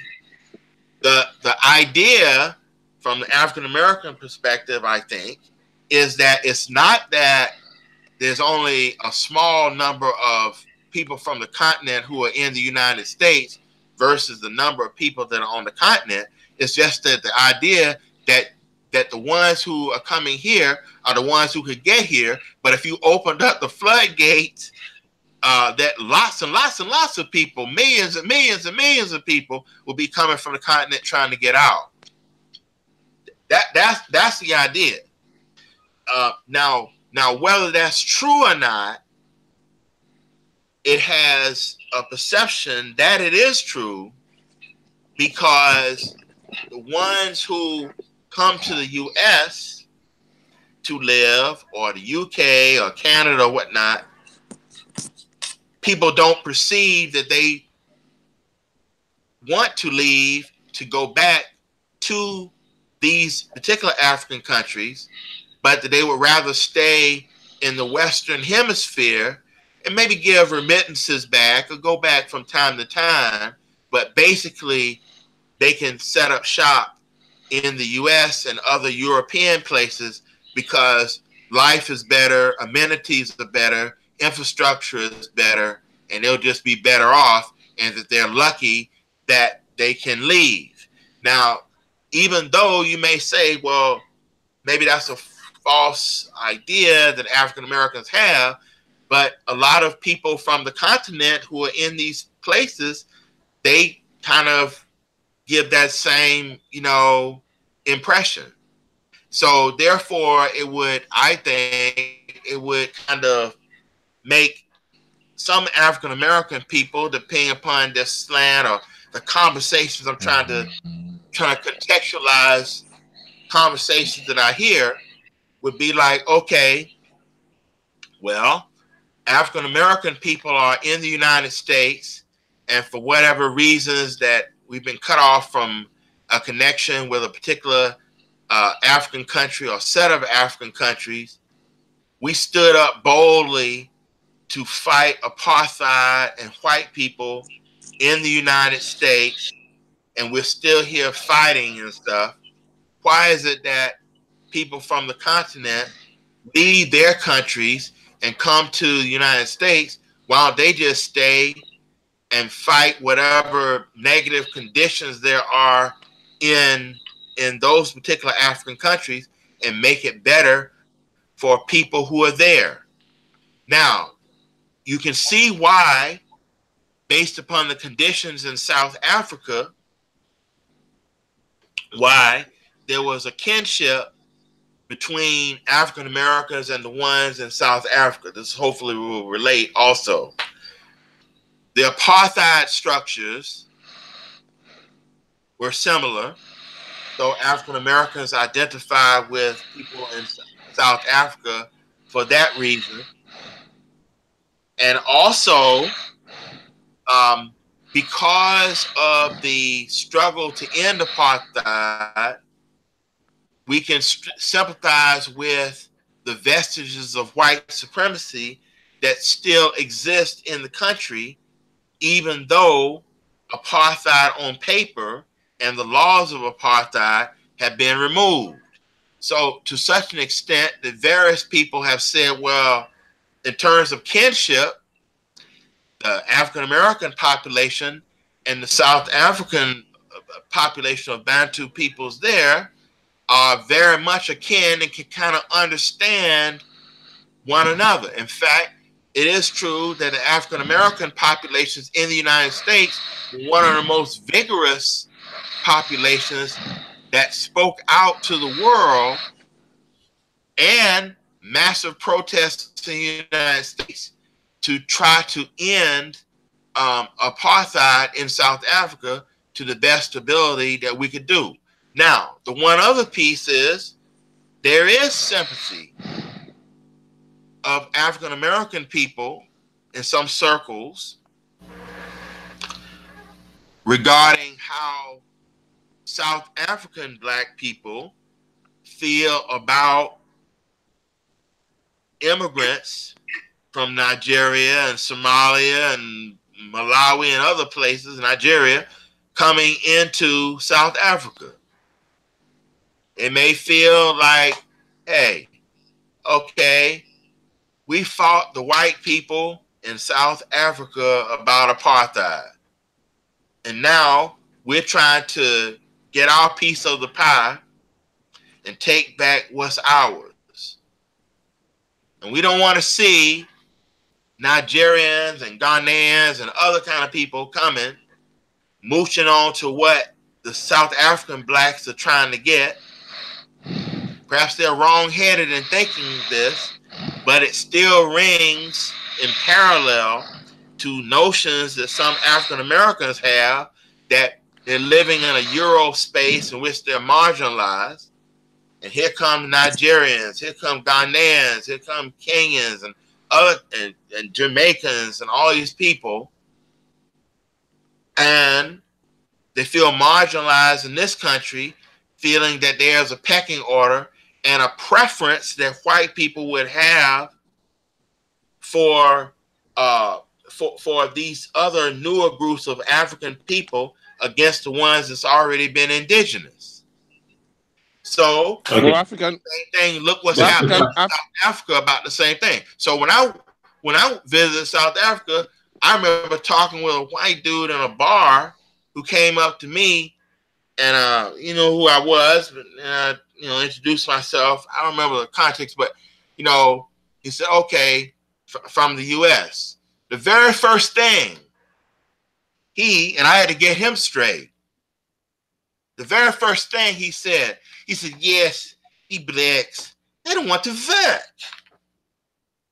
And I had to get him straight about the fact that I identified with black people in South Africa and that I saw white people as people who take from African people and create all kinds of apartheid and racism onto black people. So What if I went to South Africa and whites were still largely in charge, but black people were given affirmative action programs, and I somehow or another could not really understand hmm, what the black people in South Africa were going through. And I would always find myself in a position in which I would always be a mouthpiece for white people in South Africa about look look look at the black people in South Africa. They don't want to do anything to help themselves. So I can see the the parallels, you know, in general. And so that tells me that if you're going to another country, in this particular case, in our scenario, people from the continent who are coming to the United States, who most of them are educated, a large portion of them, but who have access to the internet, to finding out about what's going on, should make the kind of effort to find out more about African American people and seek to operate with them before you come into a new country. But Okay, they okay.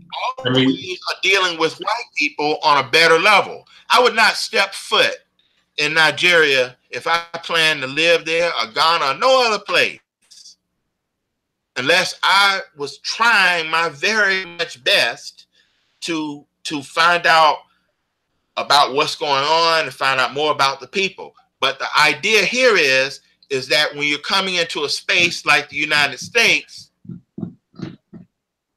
you need to find out more about how white people than about how black people are because black people don't have any real power and that's what people are vibing on. And so therefore people from the continent who have negative views about black people here for varying reasons and varying degrees uh, feel like may feel like that somehow African American people are people they may need to not have heavy association with, but it's best to figure out best how to get along with white people than it is your own black brother and sister that you may have been separated from by oceans and time.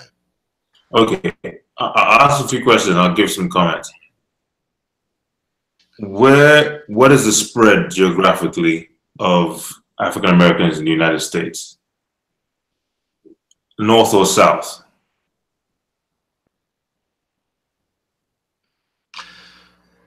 Well, um, since you since you broke the United States up south like that, roughly, roughly, it's about fifty percent that live in the north, and about fifty percent that live in the south, with now increasing amounts of people moving from the north to the south for varying reasons, economic reasons, uh, cultural reasons, etc. That's actually the percentages so that there will be more percentages of black people who live in the south than in the north. But if we were to look at 1865, over 90% of the African or black population in the United States lived in the South, with Okay. emptying populations that occurred from really the 1870s all the way up through the mid 1950s of many people thinking they could escape Jim Crow or felt like there were, you know, better economic uh, conditions that actually evened out the population you know, moving, you know, in the south and north and even the the west uh, of, of the country. And so over time, as I said, um, numbers of black people thought they should move to the north. But what they found is they found levels of segregation there and also some limited opportunities. And many of them got stuck in ghettos that were entrenched with all kinds of poverty.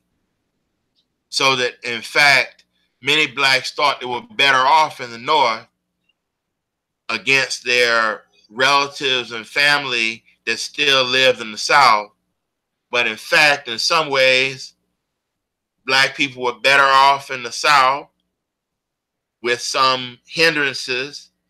And then in some cases, there may be advantages in the North, but really not any better off overall. In fact, the South today may have, in fact, more opportunities for black people. And that's why many black people are moving back from the North to the South after having been up there for 50 years. Okay, the, the reason I asked that is because I'm not trying to, because obviously I haven't migrated to the US, but I'm trying to break it down for decision making in in choice locations and why. So if you said it was a 50-50 split north and south, and progressively the people, uh, African Americans, are moving from the north to the south, um, so say we'd, would call it now, I don't know, say let's for argument's sake call it 60 40, 40% in the north, 60% in the south, as it's progressively moving southward. Then what is the spread, would you say, for the, I guess, industrialization north and south? Would you find many more companies uh, or industry in the north than in the south? Well, um, well, you could find more industries, but more companies are relocating to the south and building additional um, operations in the south. So, a number of African American people that are moving from the north to the south, or who are choosing also to resettle in the south, actually a number of educated black people with college degrees and special skills who are moving to um, certain um, southern cities in, in the south like dallas texas memphis tennessee um, nashville tennessee houston charlotte. So um, there is a migration a remigration back. Okay. See, see, see I'm, I'm trying to look at it from a migrant's perspective. And the brain drain in Africa. The brain drain, the late 70s, uh, 80s, when pretty much across the continent there were military dictatorships everywhere. Mm-hmm. And that was the main driver of massive brain drain, or military dictatorships, suppression of civil liberty, liberties, um, no progress, no industrialization, no transformation. It was a standstill of, of, of, of pro, pro, progress across the continent. So those with the means, the knowledge, know-how, expertise, degrees moved out into Europe and the United States. Now, those people, when they moved out, naturally they would have moved to places where they be. now from the sounds of it, places of lack of industry would not be a choice. Only be able to move to be able to cater for their expertise. And if that is the case, it sounds like it would be it would have been predominantly the north areas that had less black people and predominantly places that would offer them avenues to ply their trade.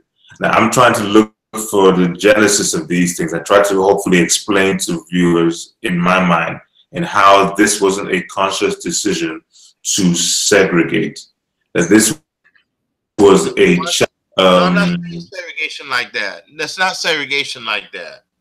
It's moving where the opportunities are.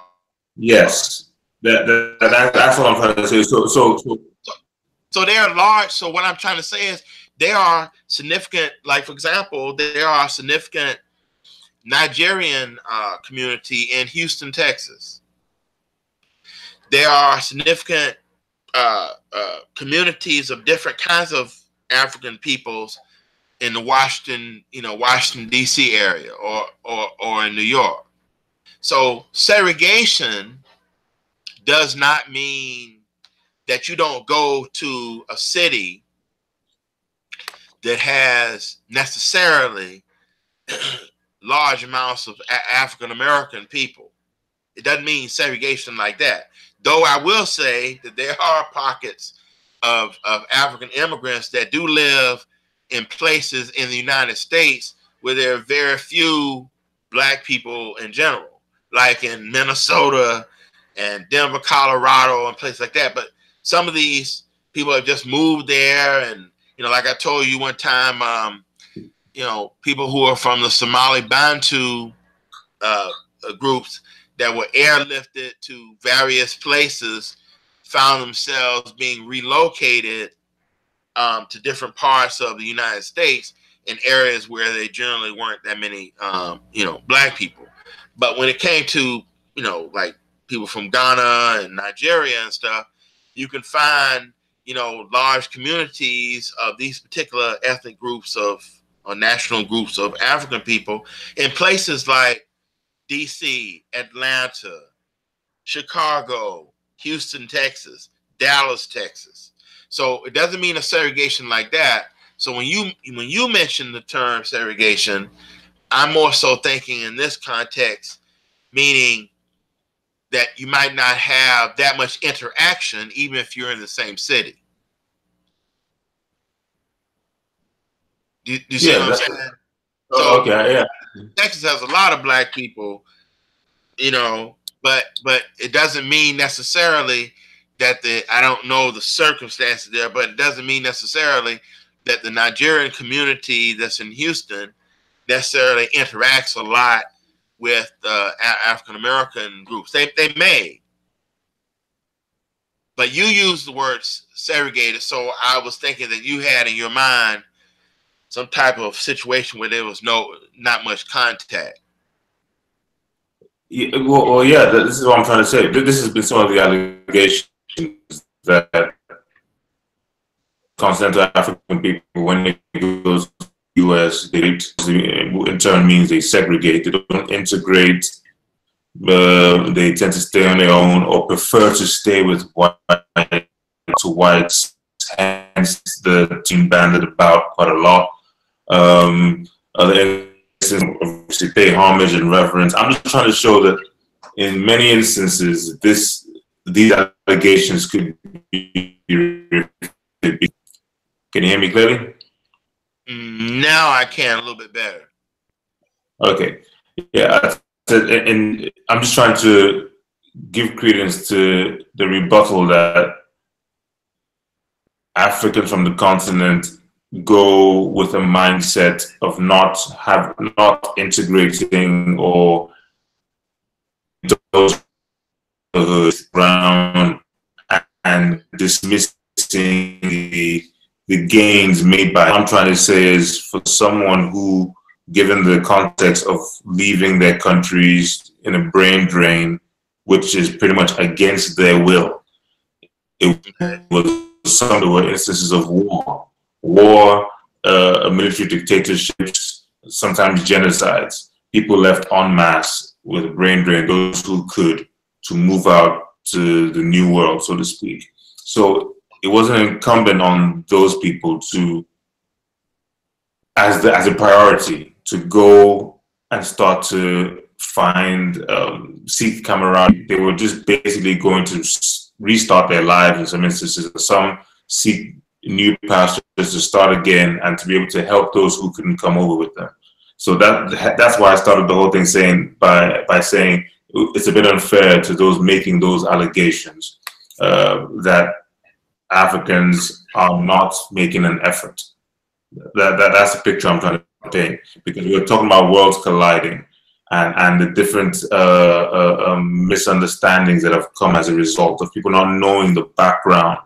Um, so so I think it's just worth noting that clearly that this this is what I see here in the UK with Caribbeans. There were two two waves of those who came over here. The first wave came to study. Mm-hmm. They came to study in the 70s and 60s, and then they left. The second wave came back towards the end of the 70s, early 80s to stay.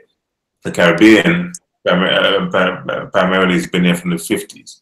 I mean, there were Africans who came in the 50s as well, but came and left, came and left. But the Caribbean has been here from the 50s. Um, they came on the Windrush um, ship, and, and afterwards, mainly after the World War II, to come help rebuild. They needed workmen, craftsmen, carpenters, plumbers, technicians, electricians to come help in the society. So they brought workforce predominantly, whereas Africans in general, I have to speak for Nigeria anyway, came to study, Ghanaians too. So there was a different wave. So the Caribbean now also has some kind of, there's a friction between both and I think it stems from the same thing. One feels they were there before, they had to fight with the existing indigenous people, the white Europeans, white Americans. They fought for their rights, and people came and benefited from it. But you cannot blame those who came afterwards for, because it wasn't their fault. It wasn't their fault that, that they came and they, they are now in this city that has some freedom that they can enjoy it is not their fault. Uh, and and that that's what I something I would hope that people would stop alleging. I mean, there might be other things now that can be clearly to the African population and, and the other side that have clearly been done or not done. But I think that one is one I'd like to just hopefully this come and have not made the effort. I just think that given the context there is no precedence in a way for that to happen.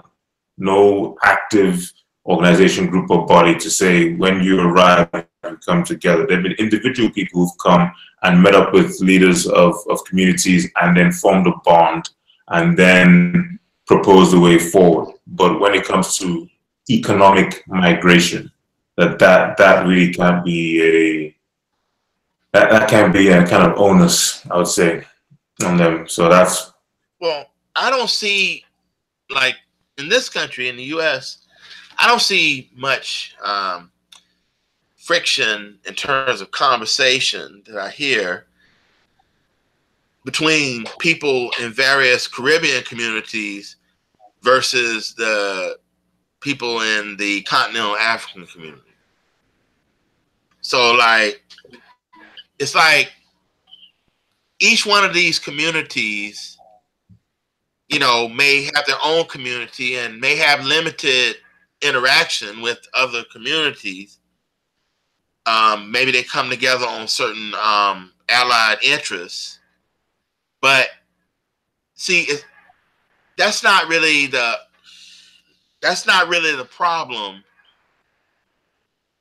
That's not really the problem that the that the that the communities are are are, are separate and they're not just all blended together that they're distinct communities.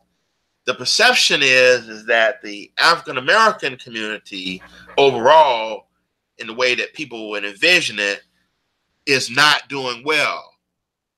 It's not that the african american community is separate from another community or that the nigerian community or the ghanaian community you know shouldn't be separate it's that the African American community is not doing as well, and the perception is that these other peoples from these other groups that are also black are taking advantage of opportunities that should go to African American people because it's perceived that the structure of the country is in the hands of white people, and white people are are giving African giving uh, uh, Caribbean and African immigrants preference over African American people. It's not the fact that they're separate. It's it's it's, it's preferences. Okay, but but but but then but then this this if that's the case, then this this cannot be attributed to the the actual migrants themselves, can it? No, no. See, what I'm saying is is that the grievances that African Americans have um, are grievances with the the system in, in, in the U.S. And some African Americans feel as though if you didn't have the African immigrants or Caribbean immigrants, that that would somehow make white people be forced to give more leverage to African American people because you wouldn't have other go-to people uh, in general. So, as an example. So, so are, are, you, are you then saying that, that what what what's happening is African Americans are lashing out at Africans as a result? Yeah, yeah, that, yeah. Because because the the drum up of the rhetoric, you know, sort of um, makes the uh, many African Americans see immigrants who are black negatively, even more negatively in some ways than other people like Hispanics who are coming, because they're like, okay, well, Hispanics may not be, uh, you know, they may have their issues about discrimination, but they'll eventually blend in as being Caucasian. But black people are going to be in this particular boat constantly, and other kind of black people who are coming to the country um, will be taking advantages away from African American people as white people create preferences within the within the black group. Kind of like in the same way as I mentioned in in in you know in South Africa, where we know that the whites who are there are responsible for apartheid and its construction, but there's a dislike in some quadrants for Nigerians and Somalians and other kind of black people coming to South Africa. So the attention is off of attacking the white people for their still white privilege in South Africa, but the attack is on Nigerians. You see? So it's kind of like misplaced. So what I'm saying is it's misplaced in some ways in the United States as to some African Americans getting angry at at um, progress or opportunities that some African and Caribbean immigrants have been afforded because white people are making the decisions about who gets what. So, so for example, when it comes to some of these Ivy League schools, Harvard and Yale, you know, it's like, okay, some people may feel like if Harvard said they were going to have 500, uh, let's just say, let's just say 500 uh, black students, we just call them black students, that if there were no Caribbean or African immigrants, that when Harvard said we're going to make spots for 500 black students, they would be forced to have all the 500 as being from the so-called Af- African American group. But now that you have different kinds of black people in the US that when if Harvard said we're going to have 500 black students that they can now not have to get African American students as though they would have been forced to do previously because let's say that they had 400 African American students then the African American population can go uh, representatives and go to Harvard and say, see, you said you were going to have 500 black students. You've only got 400. So where are your 100 more? Where now, um, you know, Harvard can can look and say, okay, so um, we have we got we got 500 black students, and then various African Americans be like, well, wait a minute now. Um, we thought you were going to have 500 African American students. And then Harvard in the scenario can say, well, no, we said 500 black students. African Americans are not the only black people. See, y'all were thinking that that African American equals black, but no, see, we deal with black, period. So then all of a sudden, African Americans are saying, wait a minute, the other 400 slots are supposed to be African American students in general. You only have 100 African American students. African American students are black people in this country. How do you have 400 additional black students, but from other places? Then it becomes a matter of what Harvard said, well, wait a minute. African Americans, y'all are being bigoted now. You mean you want to discriminate against African people and Caribbean people who had higher scores than you to get in, and we selected a number of them. You all shouldn't be protesting like that. Didn't Dr. King say to judge a person on the content of their character, not the color of their skin? And these are the kind of things that would make a lot number of African American people angry. And then the, the school can go back and say, hmm, well, when we looked at various uh, high schools and test scores, you know, and, and where people are coming from, we found that these pocket of students, students who are Ghanaian Americans, students who are Nigerian Americans, students, we found a few of them from Zimbabwe and Jamaica. See, they had higher scores than you did. And then number of African Americans said, well, wait a minute.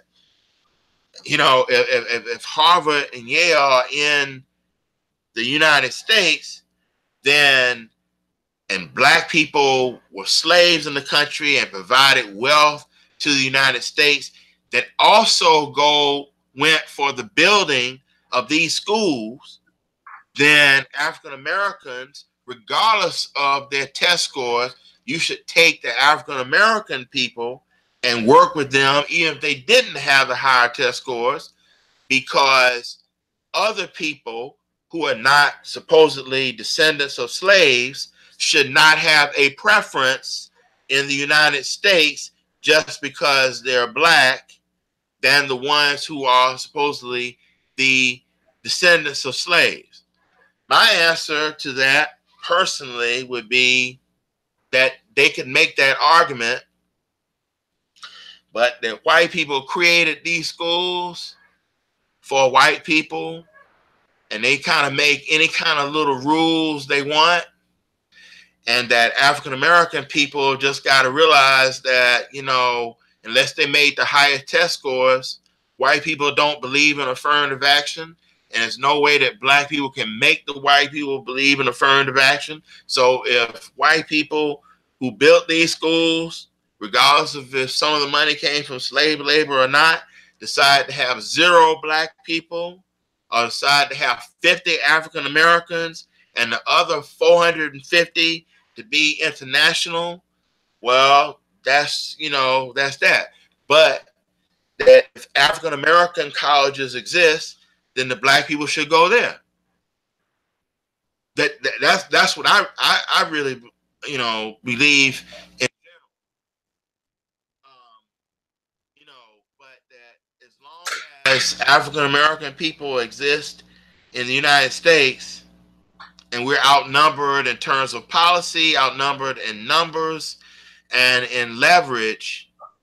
Um, you know, as long as it's a white institution and white people created it, they can um, they they're gonna have whoever they want in these institutions, whether it's fair or not, regardless of what uh, arguments that the African American people make. So mm-hmm. so I can't blame a Nigerian student if they accepted a scholarship to a white school that gave them a scholarship, even if they overlook an African American person, even if that may seem un- unfair or not. Well, well, saying that, someone um, makes a comment. Uh, Cobb, thanks for for your comment, Cobb. He said, uh, and the question is to you. He says, "Don't you think um, African Americans should try to reach out to African immigrants since they since the African immigrants would be new to the country, and the African Americans would would know how things work, how things are, and that way to be able to indoctrinate them and let them know about the the, the perils of, of, of obviously the uh, the white indigenous people there, uh, alerting them to to certain things, areas or whatnot. And this this goes to the point I think I made earlier in that when new immigrants come, there should be some kind of body of integration or in, in induction uh, into communities that they would preferably li- like to get in contact with or to just to know rather than to navigate these fears themselves. Okay. Yeah. yeah, I think that's true. I, I think, yes, I, I think on all fronts, there should be outreaches from African American groups and organizations to basically socialize, um, you know, people from the continent uh, and the Caribbean to sort of integrate them into the African American space, uh, you know, in general. That's why I do think an outreach about history and culture and interface is important. I do think that HBCUs should be used to export uh, history and analysis of African American culture into um, libraries and conversation pieces on the continent so that we know more about each other and to create those exchanges so that African American colleges, historical black colleges, actually could be incubators for people in the United States, black people in the United States, knowing about uh, you know different events and peoples in various African countries. I definitely, I definitely believe in that. Um, I think that part of that question also has to take a look at the fact that it might be perceived that the immigrants who are coming to the United States may or may not stay in the U.S. and have some place to go. Well, what about African American people who feel stuck? See, that's that's the problem that people from the continent and the Caribbean come to the US and can benefit, you know, in whatever is in the US, but African American people don't feel like they have anywhere to go if they want to leave or get a respite or any kind of uh, you know, leverage in general. So African Americans are not equal to black people who, who are immigrants. But I will say that when it comes to college and job opportunities, African American people have got to look at it this way. You got to strive to be twice as good, even if that seems unfair. Because unless you have your own thing, you're limited in this environment. So you got to be twice as good. So I think that if African American people want to increase their um, uh, numbers at Ivy League schools or get scholarships there or get scholarships to colleges anywhere in the U.S., they're just going to have to be twice as good and make the grade. And that they shouldn't try to get into or expect to get into schools they don't make the grade.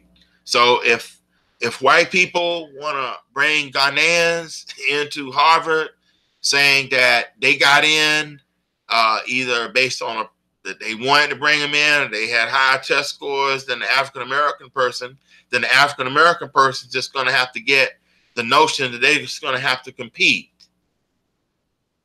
despite racism. But I think that a number of African American people are brought up with the idea that um, the U.S. owes them.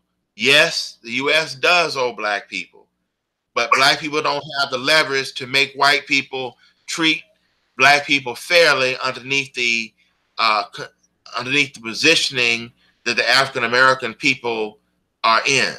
So they're just going to have to accept um, racism and do the best they can, or find a way to leave, or have some other other options. They don't have well, the well, to make white people do whatever. So they should stop. They should stop having so much faith in the notion that white people will treat them fairly simply because they protest that white people should should do so. You see, and and some some some will disagree with you. Some will feel. I mean, I, I agree with you, but some will feel, and I've heard this said before because I've made that that that uh, suggestion, uh, or or or um, I've made that insinuation that it, it is a futile battle because uh, the powers that be will not yield. But then some have robustly um, repudiated that, that, that, that, assumption and, and have almost branded me in a way as if I, I was a traitor from um, working on behalf of of the enemy, so to speak, saying, you know, almost saying to retreat um, this is the way it's been received. And I, I remember an exchange once with um, this guy. What's his name? He's the creator of um, of um, Hidden Hidden Colors. I've forgotten his name now. Um, I'm gonna Tariq, find it. Tariq Nasheed. Tariq Nasheed, thank you. And I'm back. Yeah, I had an exchange with Tariq Nasheed on Twitter once where I was making, not in a roundabout way, making this assertion saying that their future lies on the continent, whichever way that takes, either having dual citizenship or, or, or just, uh, and that it's, it's, it's no shame to retreat to fight another day, to look at another option, a plan B, to try and find another way um, for, for, for this fight because what they're looking for will not be given. And I just had a bombastic response from him and his followers on on on trying to look at as if again try to paint me as some kind of coon or something and saying um, um, isn't Africa going through this? Isn't Africa going through that? What are you doing in the UK? Blah, blah, blah. Basically, we just came, it kept coming, kept coming for two days. I was like, wow. So, um, what I think is um, there has to be a plan B. And, and, and now, we, I don't know if you can um, you can come in with what what, what you said you saw recently on a on, on a show, and then we'll get into that. Know, just specific specific issues and instances. You know,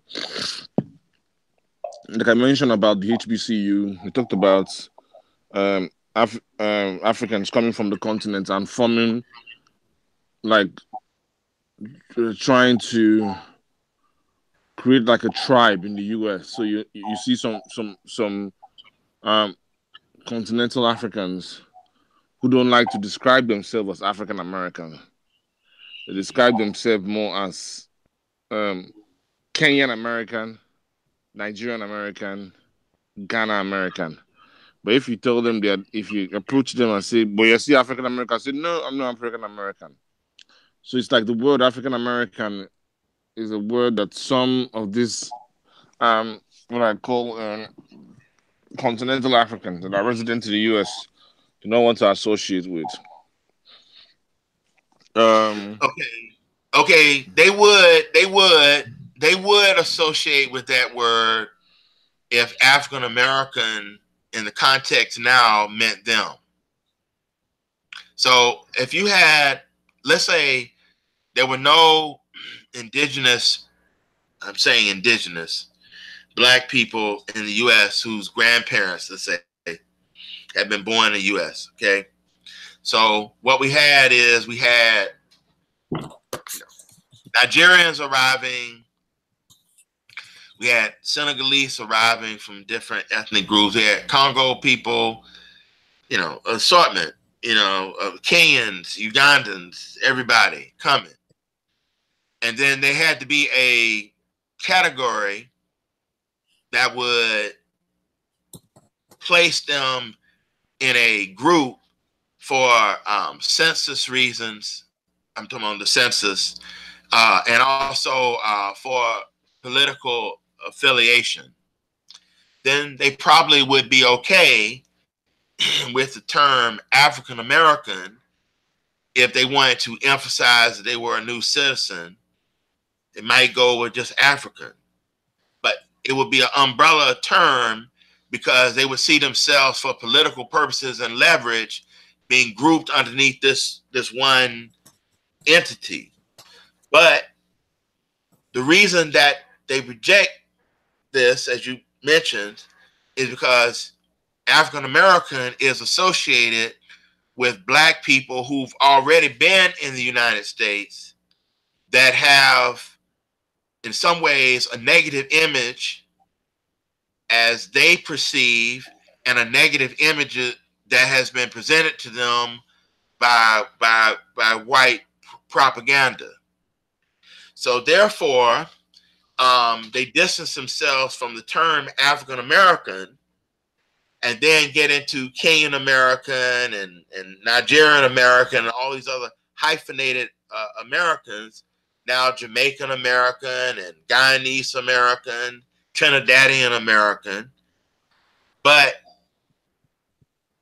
because of, because of this and because of some of the new backlash that is happening, then you've got the some segments of the African American community that feels that they should drop the term African from the name African American and just place it as Black American to do two things to distinguish them from being an African because they hate the concept of Pan Africanism. They don't think that's a correct philosophy. They don't feel they're connected to Africa. And they also feel as, though it gives them some type of justice claim leverage to be able to demand um, fair treatment and uh, restitution for slavery if they distinguish themselves completely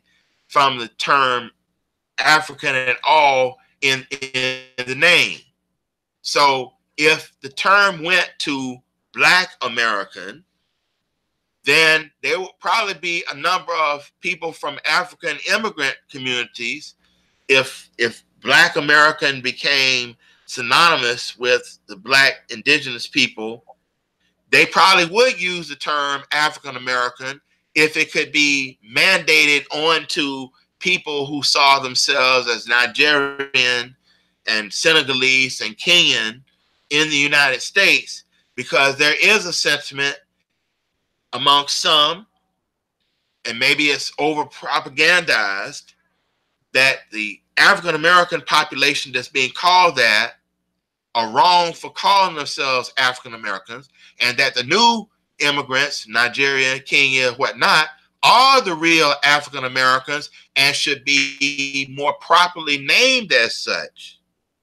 But when the term African American was coined in the late 1980s, again, this was part of the Afrocentric movement, that maybe they maybe the term was too broad. Maybe there should have been another name from our Bantu ancestry that was named to specify the group that was already in the United States at the time.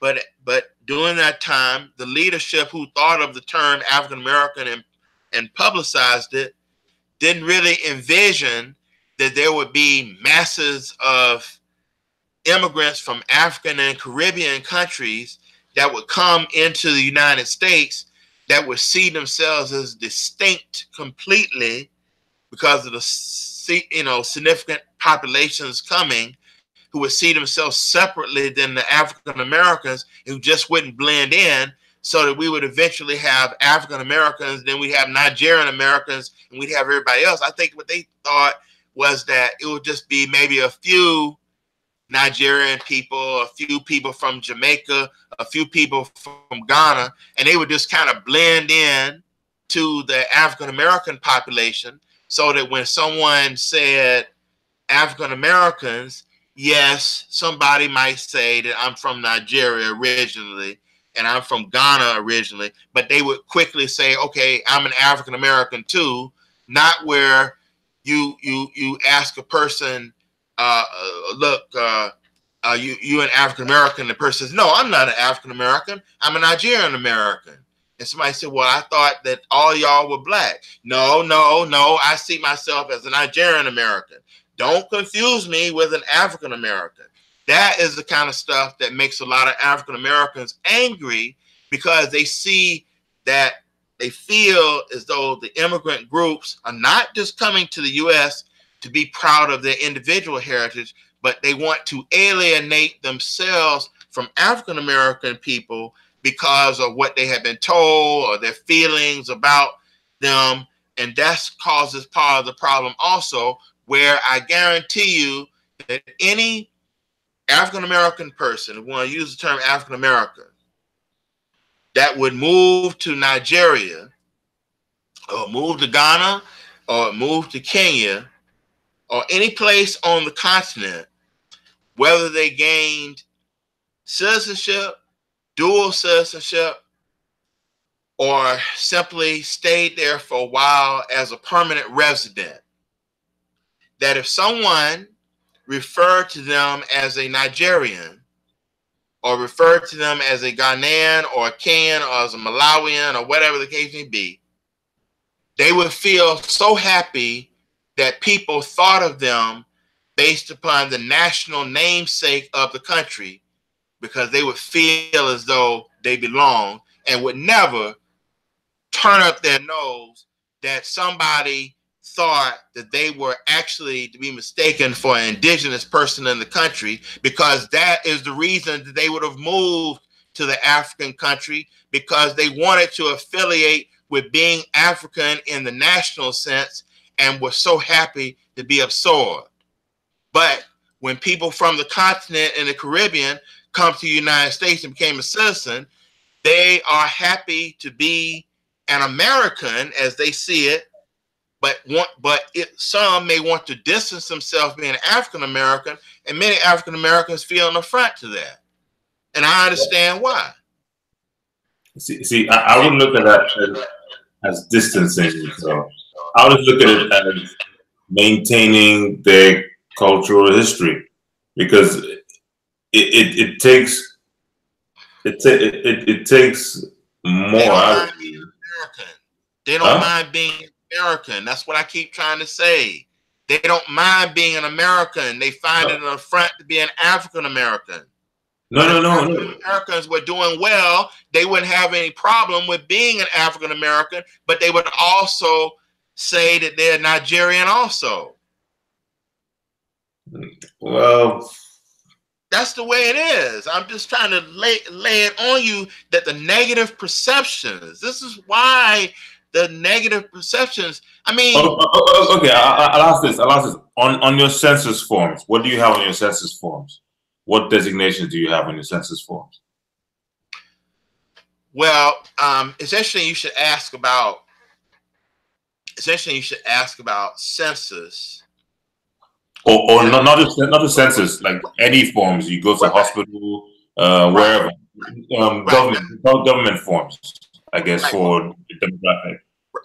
Right. Well, that's why I'm glad you asked that question because there are different um, terms that are used in various ways. Like, for example, you can go to a census form and you will find, um, you know, African American slash black.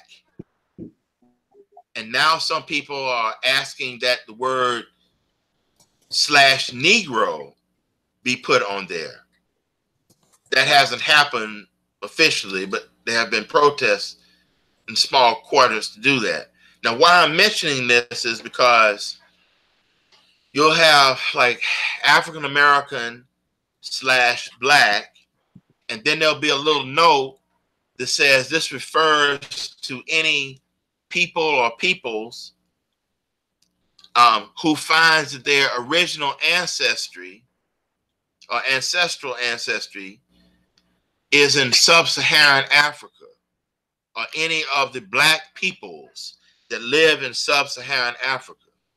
So when you get to Caucasian slash white, they'll list uh, any of the people who find their ancestry in Europe, the Middle East, or anywhere in North Africa. Then you'll have Hispanic, they'll list maybe Hispanic, and then they'll have a breakdown for that group and have you to check off a box like, you know, Cuban, Puerto Rican, Guatemalan, etc. And then they'll say, um, any person that has any ancestry in any Spanish speaking countries, irrespective of race, so that a Hispanic person can be black, could be white, could be Asian, but as long as they spoke Spanish indigenously, they go up underneath Hispanic. So for Hispanic people, depending, they can check Hispanic, but also check off a particular racial category. So Hispanic is sort of merged into race, though it's a, a kind of a language and cultural identification. And then they'll have other kind of breakdowns too. So now what we have here in the US is that people are protesting from Middle Eastern backgrounds that they had automatically been put into the category of Caucasian. But what they want is they want to be taken out of the category of Caucasian and put down as a separate category of Middle Eastern.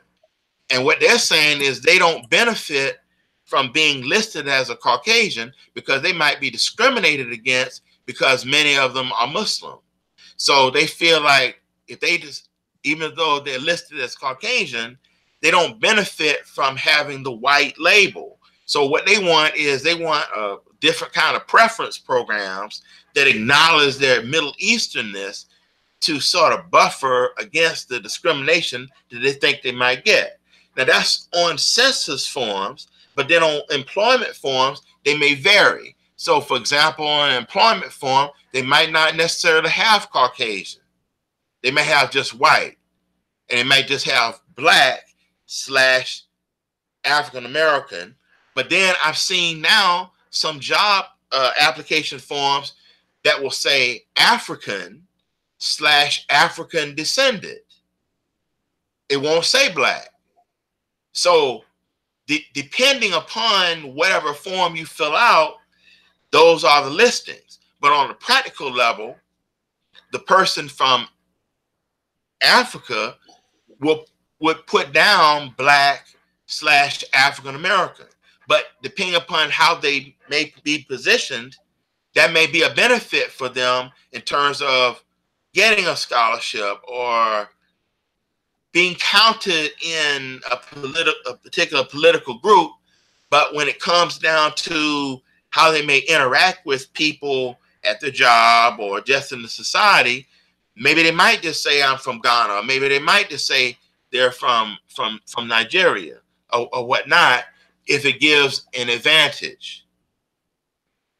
So so it's a complicated mix even in terms of how people are identified on various forms, employment forms, census forms, other kinds of, as you said, uh, you know, government-based forms. Hmm. Does that make any sense at all? Yeah, yeah, no, it, it, it did, it did. Um, but but but um, again, again, see, I'm I'm just trying to look at someone who's who calls himself Ghanaian American as and trying to look through the lens of of, of both sides and how an African American will see that as an affront and how a Ghanaian could make that an affront or it could be an innocent descriptor for themselves in this new society, not, not being that, not not want to, or they are ashamed of taking on that uh, title, so to speak, of African American. Again, African American is broad. Talking about a whole continent, You're talking about people who identify themselves by not only initially their country, but sometimes by their ethnic group. So to put those aside and just adopt African American is almost like lying to themselves in a way. Um, Oh, Would that be a conscious, a conscious uh, uh, a cause of an affront? Um, here's an affront. Here, here, here's an affront, and the affront may not like when I said affront. Um, I know you know what affront means, but when I said affront, I don't mean that someone did something in front of an individual person that was disrespectful, such as in the example you gave, mentioning about a Ghanaian American as an example, that the so-called African American person was with a Ghanaian person, and someone asked the Ghanaian person, uh, or, or, or, said to the Ghanaian person, just grouped everybody and said they were African Americans, and the Ghanaian person said, "No, don't call me an African American. I'm a Ghanaian." Not not in the front like like that, like where it's a personal offense. But I meant affront, meaning the the notion or concept of scenarios that happen that someone in being told about a certain situation finds the circumstances to be an affront. Now here here's would be could be an example. Like let's say that you had um, a student from Africa that graduated from a certain college in the United States or a certain set of colleges.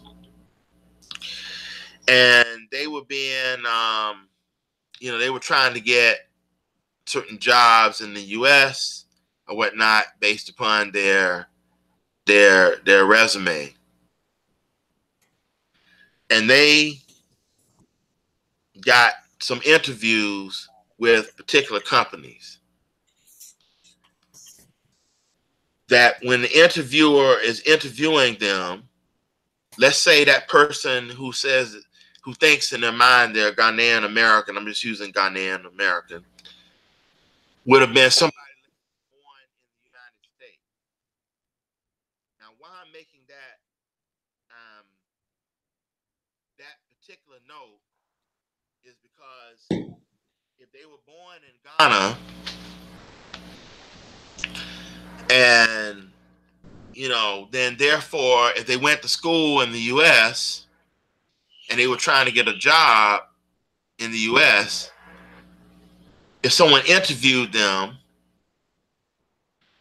the person who interviewed them would immediately know from their accent that they weren't necessarily from the United States. It's kind of like if I'm if if I'm listening to you, I can tell that you are from someplace else just simply because of the British accent in the way that you may speak English, you see? So it's it's it's it's not that I would immediately know well, I would know you from Nigeria based upon knowing you and, and knowing your name. But if I just heard you on the phone and didn't know who you were, I would know that you were socialized in somewhere in some way in one of the UK type um, type countries. Now you may tell me, okay, well I was actually born in the UK, or you may tell me I'm from Nigeria, or you might say, well I'm from uh, Uganda, or Ghana, or whatnot. But I know it's something associated with the UK because of the accent. So in the United States, you might have children of an African immigrant who is born in the US, but they may have an African name, but they speak with a US accent. So when the interviewer is interviewing them, the interviewer doesn't know whether the person you know, uh, was born in the United States, or whether they just were an African American that just had an African name, because this is also a part of the mix about discrimination.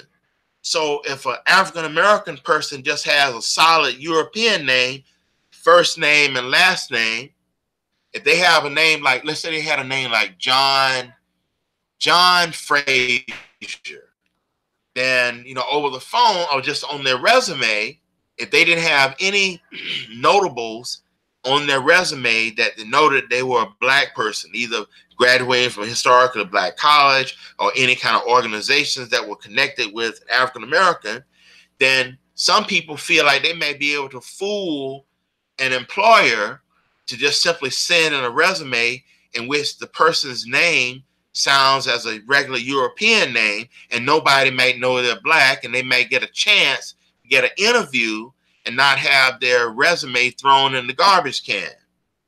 Okay, now what if the person has a name, like I said, John Frazier, and they're black, they may escape. but what if the person's name is mm.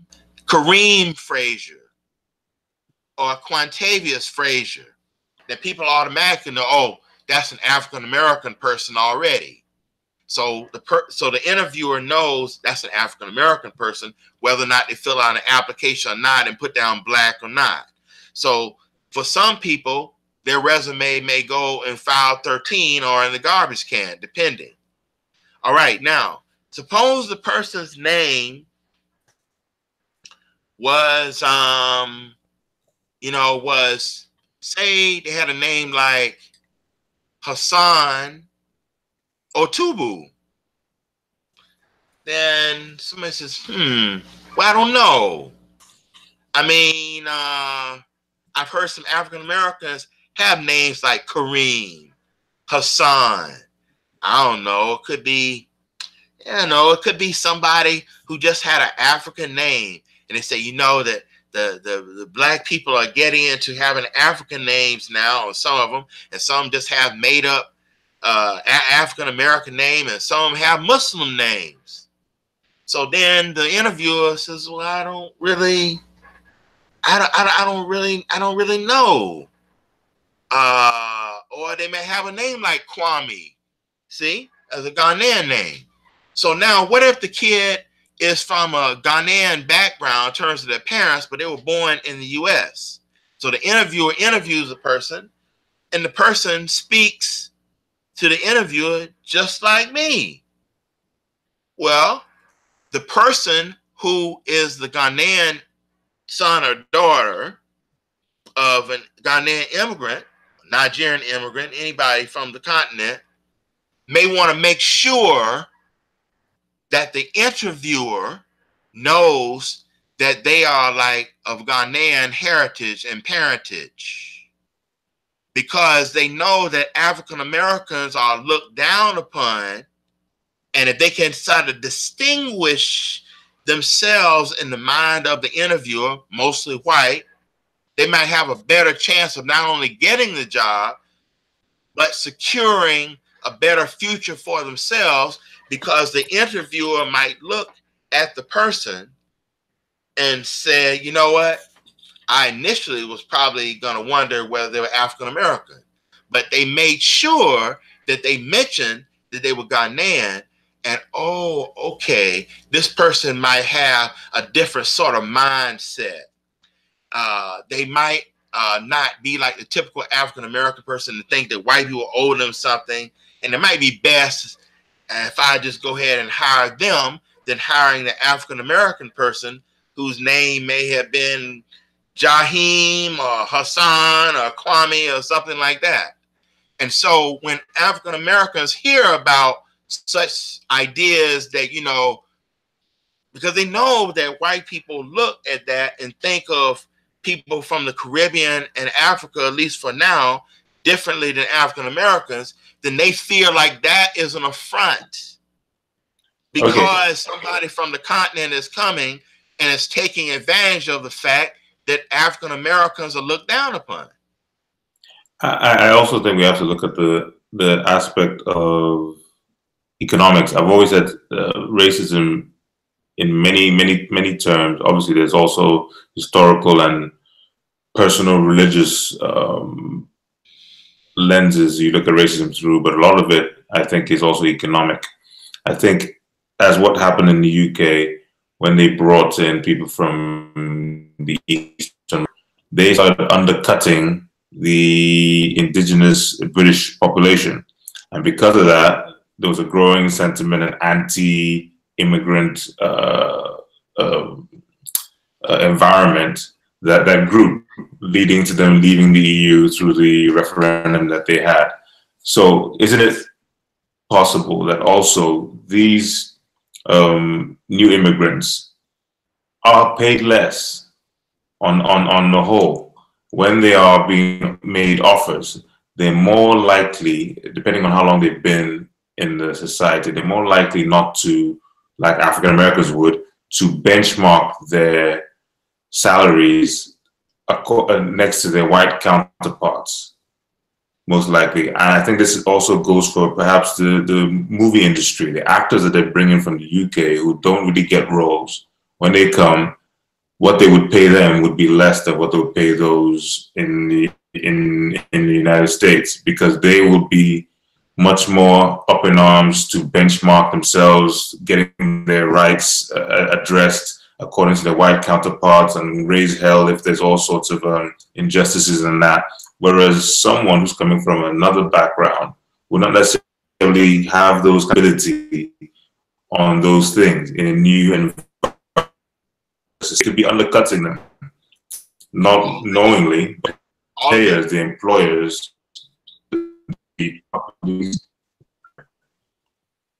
yeah, all of that. I didn't hear that. Yeah, I mean, so all it, of that. It's, it's breaking up a bit. no, all, all, all, of that can, all of that, uh, all of that can be true.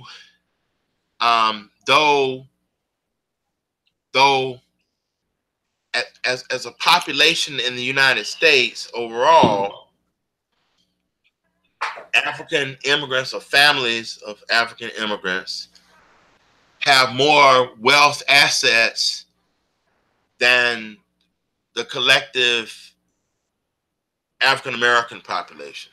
But again, we're talking about a larger population with all types of levels of income versus the African populations that tend to have higher levels of education. In fact, um, Nigerians in the United States um, surpass a lot of groups, um, you know, based upon, you know, wealth acquisition. But, you know, there are perhaps a lot of factors, uh, a lot of factors for that. Again, I think that if we took out say we took the Nigerian population as an example. It always seems to go back to Nigerians because they seem to have the largest group in these different countries, but in the U.S. in terms of immigrants. But we would have to take out a slice of the African American population that has similar education level and similar socioeconomic positioning, and then compare them. And I think they would be fairly uh, compatible, compatible or comparable. But if you just kind of take the entire African American population from top to bottom, then they're going to be have less uh, wealth in comparison to Nigerians because the Nigerian population, like most of the other African populations in the U.S. that's coming from the continent, are you know select groups not everybody can get to the U.S. and have the the monies to do so. It takes monies to get here and stay. Mm-hmm. Um, so that that's where it becomes a a, a problem. I, I do think also that African Americans could do better with different spending habits. Um, I think that segments of our community not all, but segments have sort of like given up. you know, and have some bad habits regarding spending, views, and values, which keep them at a impoverished level.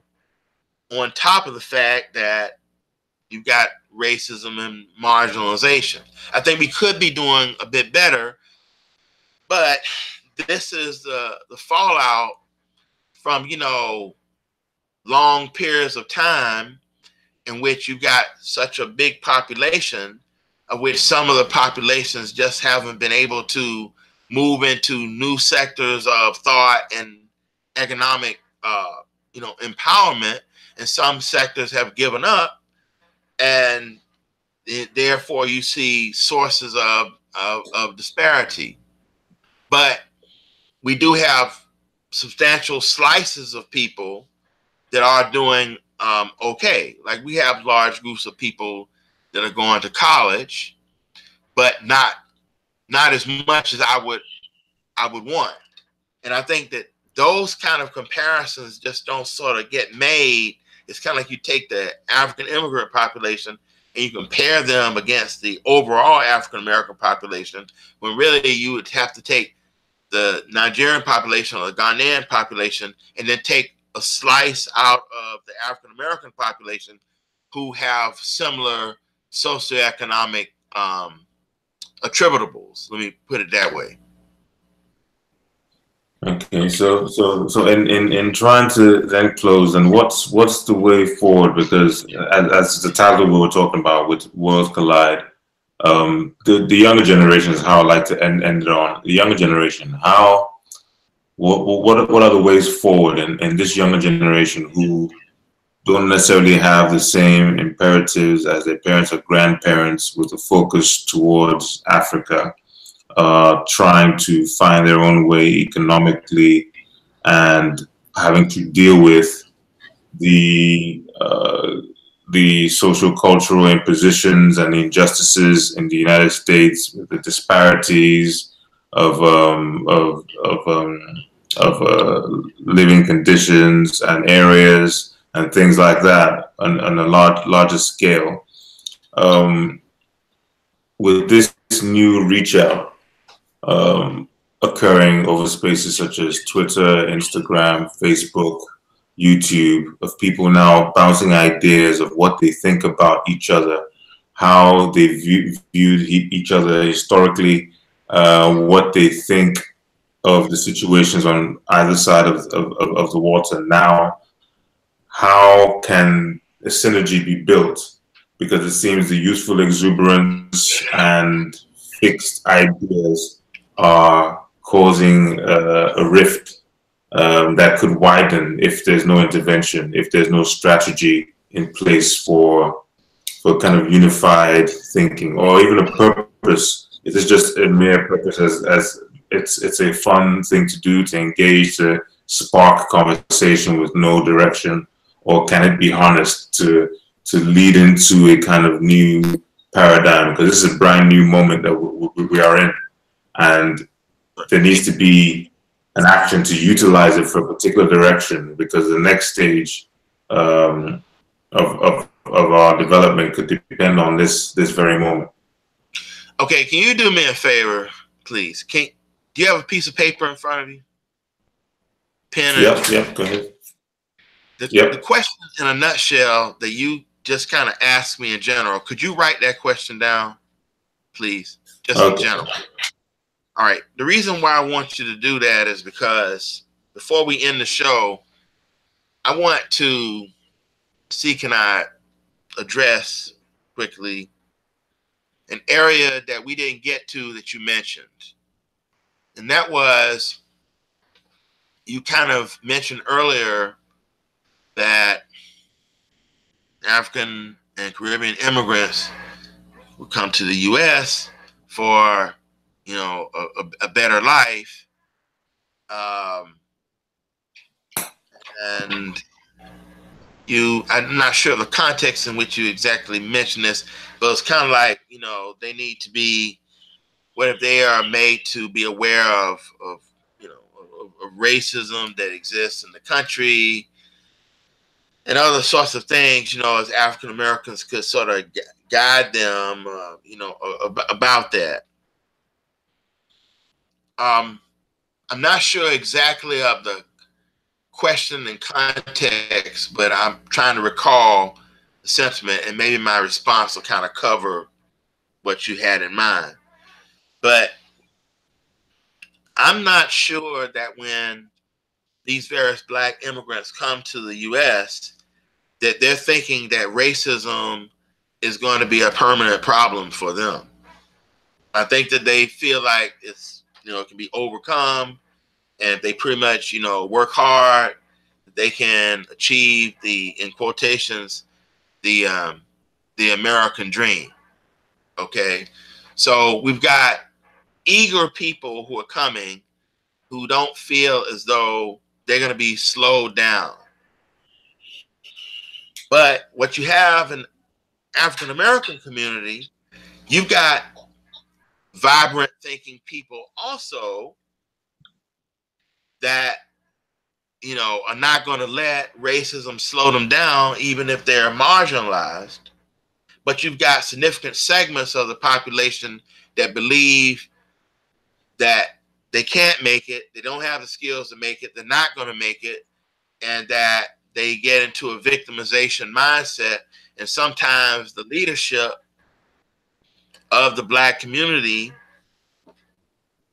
um, for sometimes political reasons steers black people into thinking that there are no solutions other than to um, you know fight for just civil rights for empowerment or that um, black people are victims play the victim game okay so there are segments of our community that believe that and act uh, accordingly. But I do think that more people from the immigrant communities who are new to the U.S., you know, they do hit the ball running, uh, you know, here in the U.S., and they don't feel like anything is going to um, slow slow them down at all. So I don't think that they feel that racism is going to be a permanent problem for them, and they see it as a minor irritation.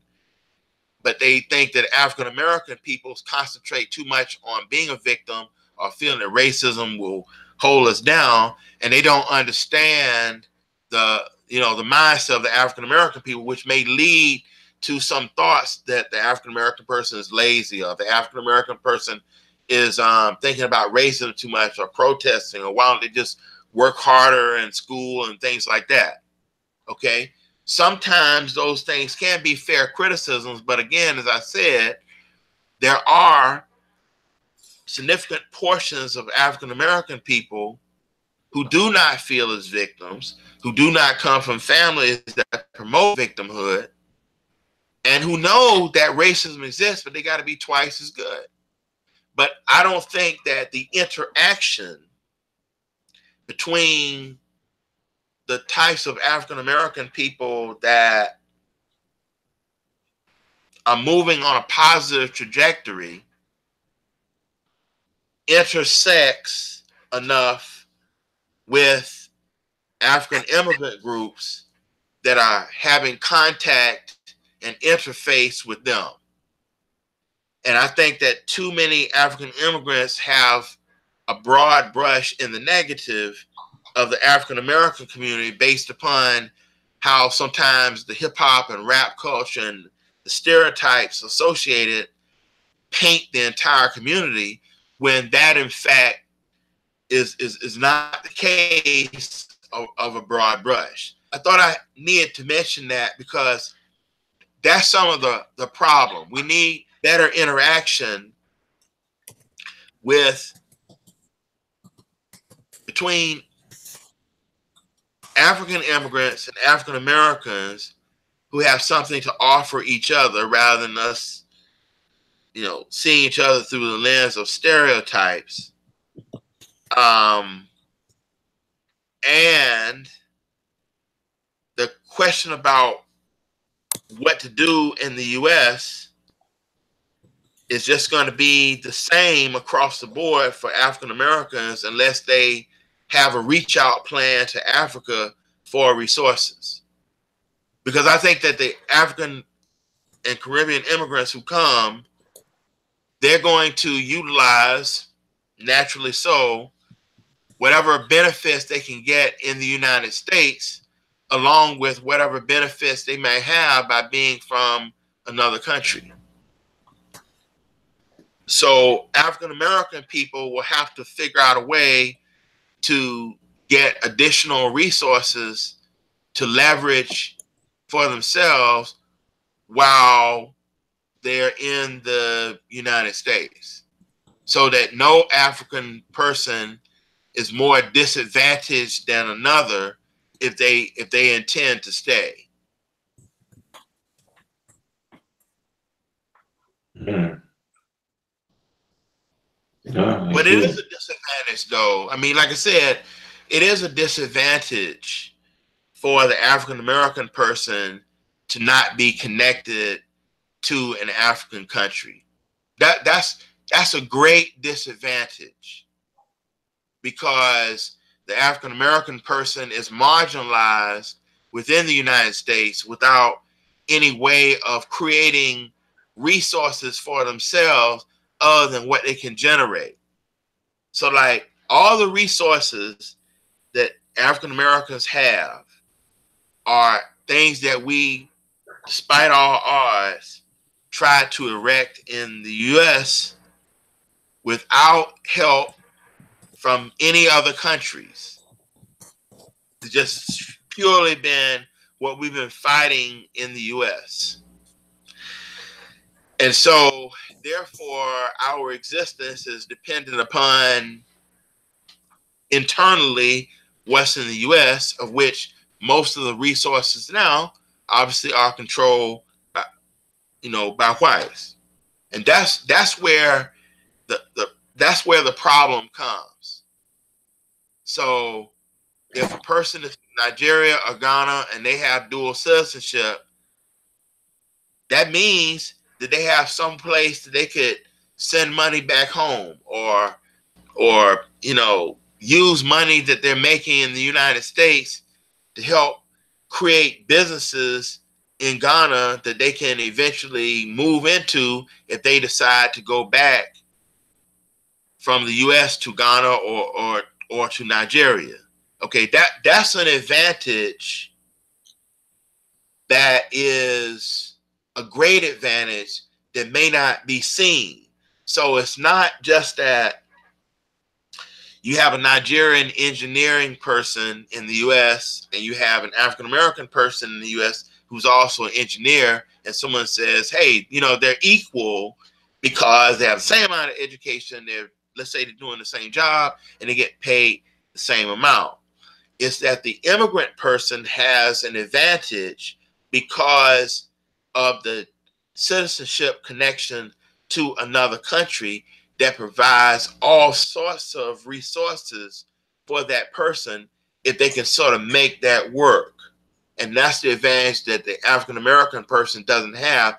And that's why African American people are overprotective or protective about seeing other people come into the country, supposedly taking away opportunities that are fragile at best in, in, in, in the US.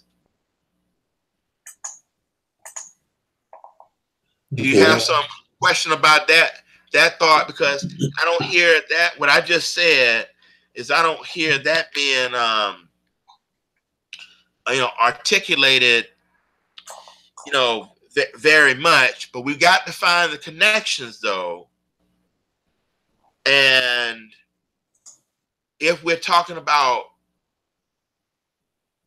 colleges and infrastructure,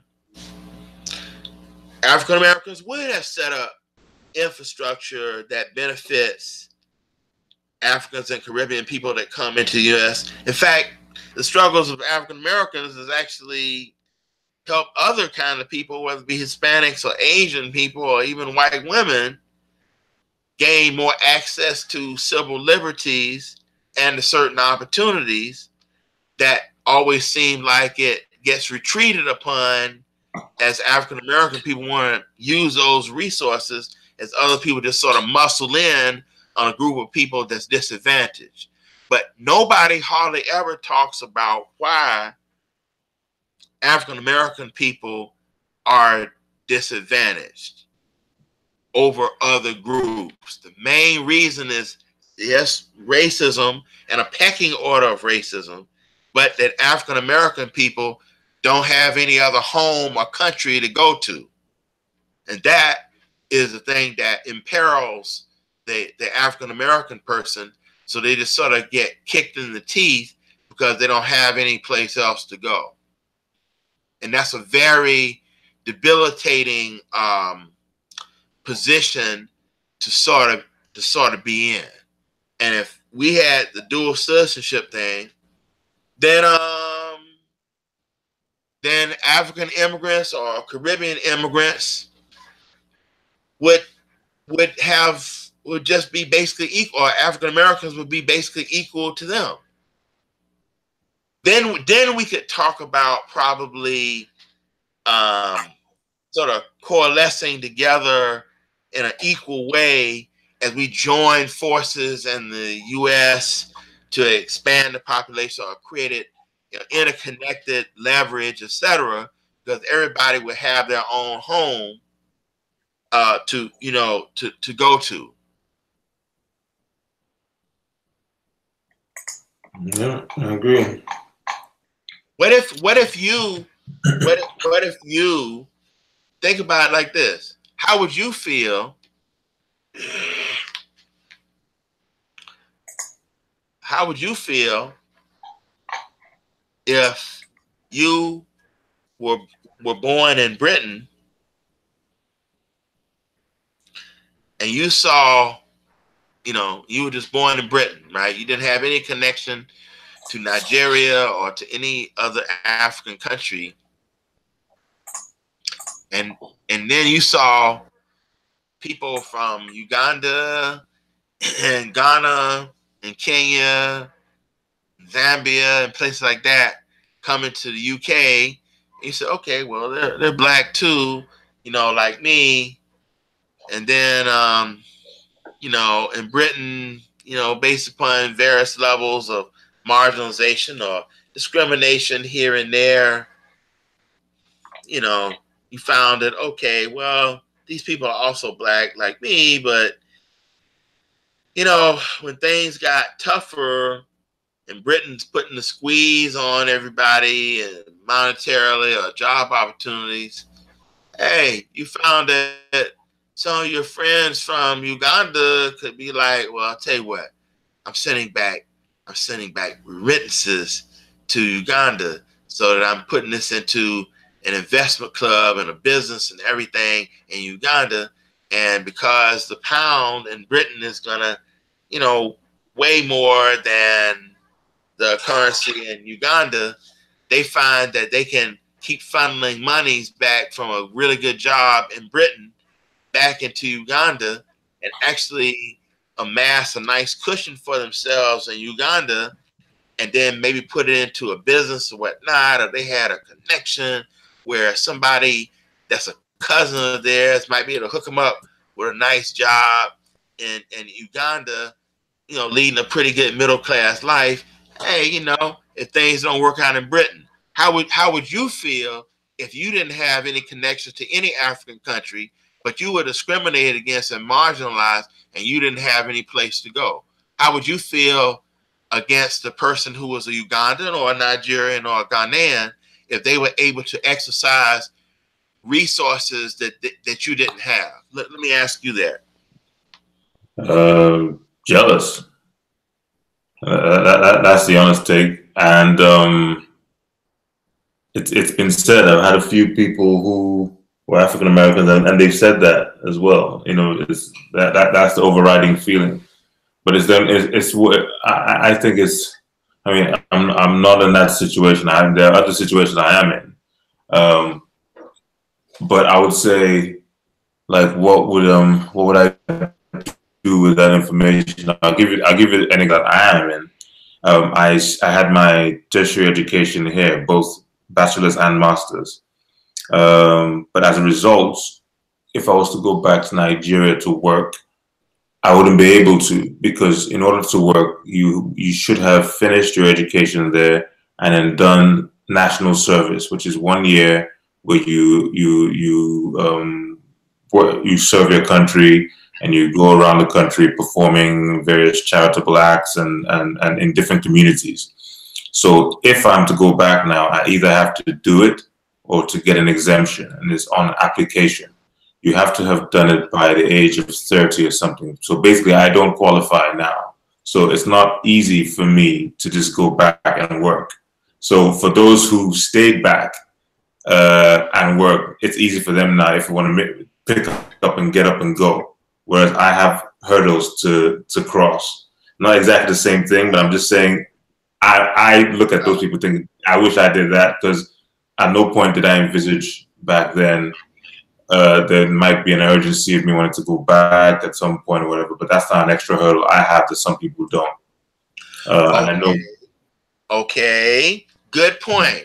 But suppose I needle you a little bit more and say to you, okay, all right, all right, let me okay, let me ask you a question. Okay, good good point.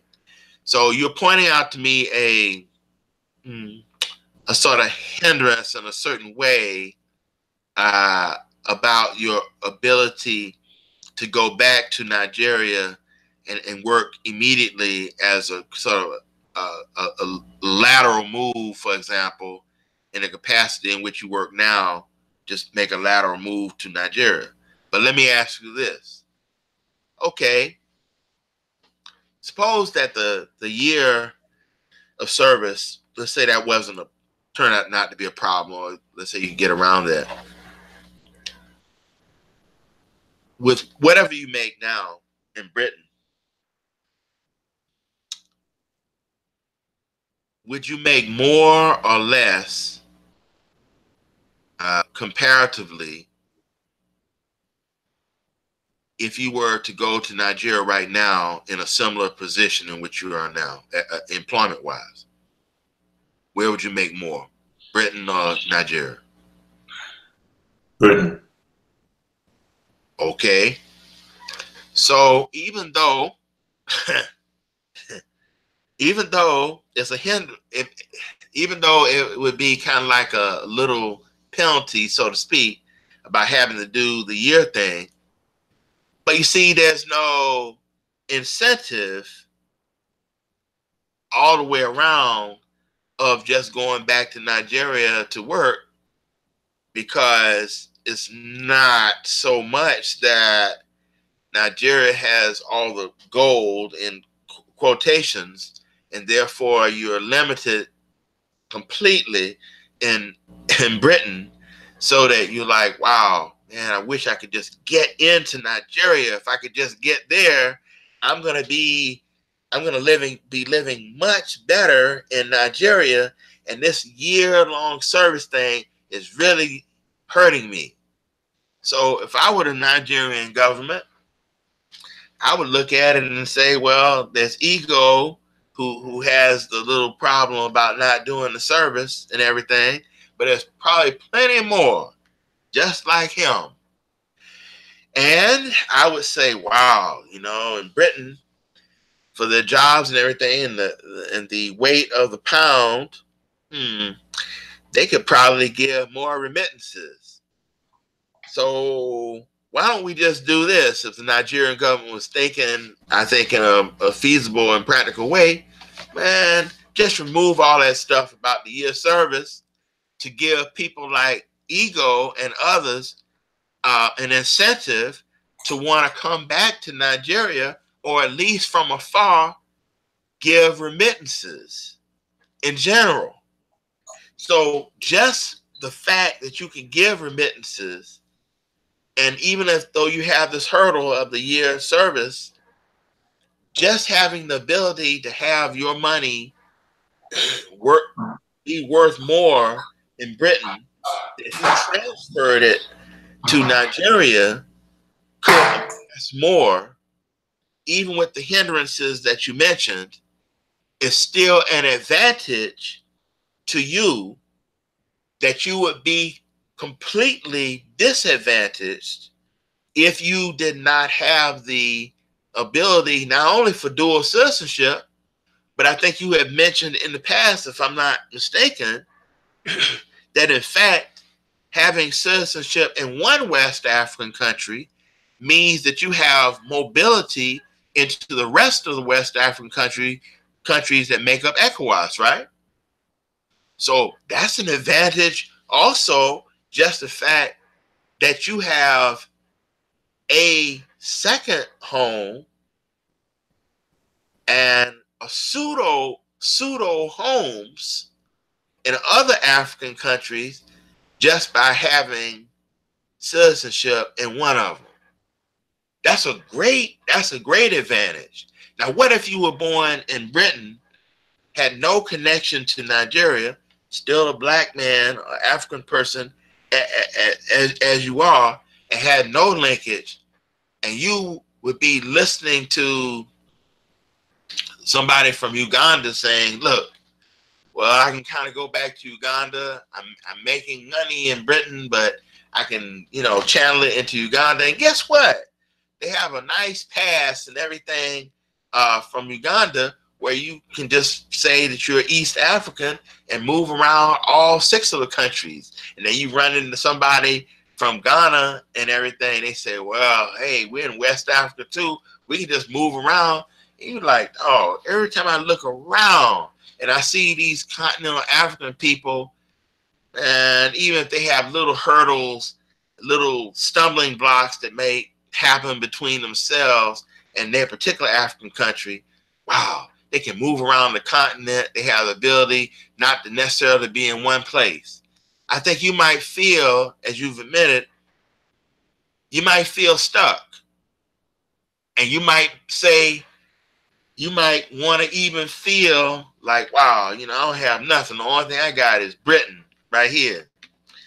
So you might want to even go to the British government and say, look, I don't know how all these other immigrants from these African countries are benefiting from me. I'm a British citizen and everything. Shouldn't shouldn't I, as a person who is like British, shouldn't I be given preference and everything for jobs and all like that? Why you gonna give preferences to uh to these African immigrants who have the ability to go back and forth to different countries and everything? Isn't your job to um, you know, to to give preference and deference to uh, you know, people who are in, in Britain. You you may actually feel that way, and you may feel like Britain is the only thing you got going, and other than that, you don't have anything. But how is it that these other people have just more resources than you, and you like, oh, you know, I'm black like they are, but they got more resources than I do.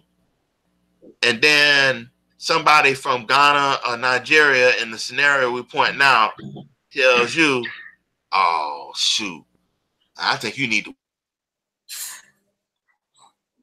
Hello, Protein. I think we lost him there. Um, I think he was just um, trying to explain how um, the sentiment might be one of despair or anguish um, as to not have the option of being able to um, have an outlet or escape plan or plan B. Um, well, the solution for that is to gain dual citizenship. And I think um, also to, it's been a good conversation uh, to round up. I was about to talk about the way forward uh, for the youth, but I think we'll probably leave that to another another show. And uh, and the question was going to be, what is the way forward with the youth during this new paradigm of relations? Um, so we'll leave that, and I'll give it up to you as well, um, viewers, if you can give any suggestions of ways forward, how you think we can prevent these clashes and these um, um, false ideologies or misunderstandings from taking place, and to foster a new way forward. Um, and I'd like to say thank you all for watching. Thank you for your comments. And uh, please do share, subscribe, like, uh, suggest comments. And um, hope to see you again another time. Peace.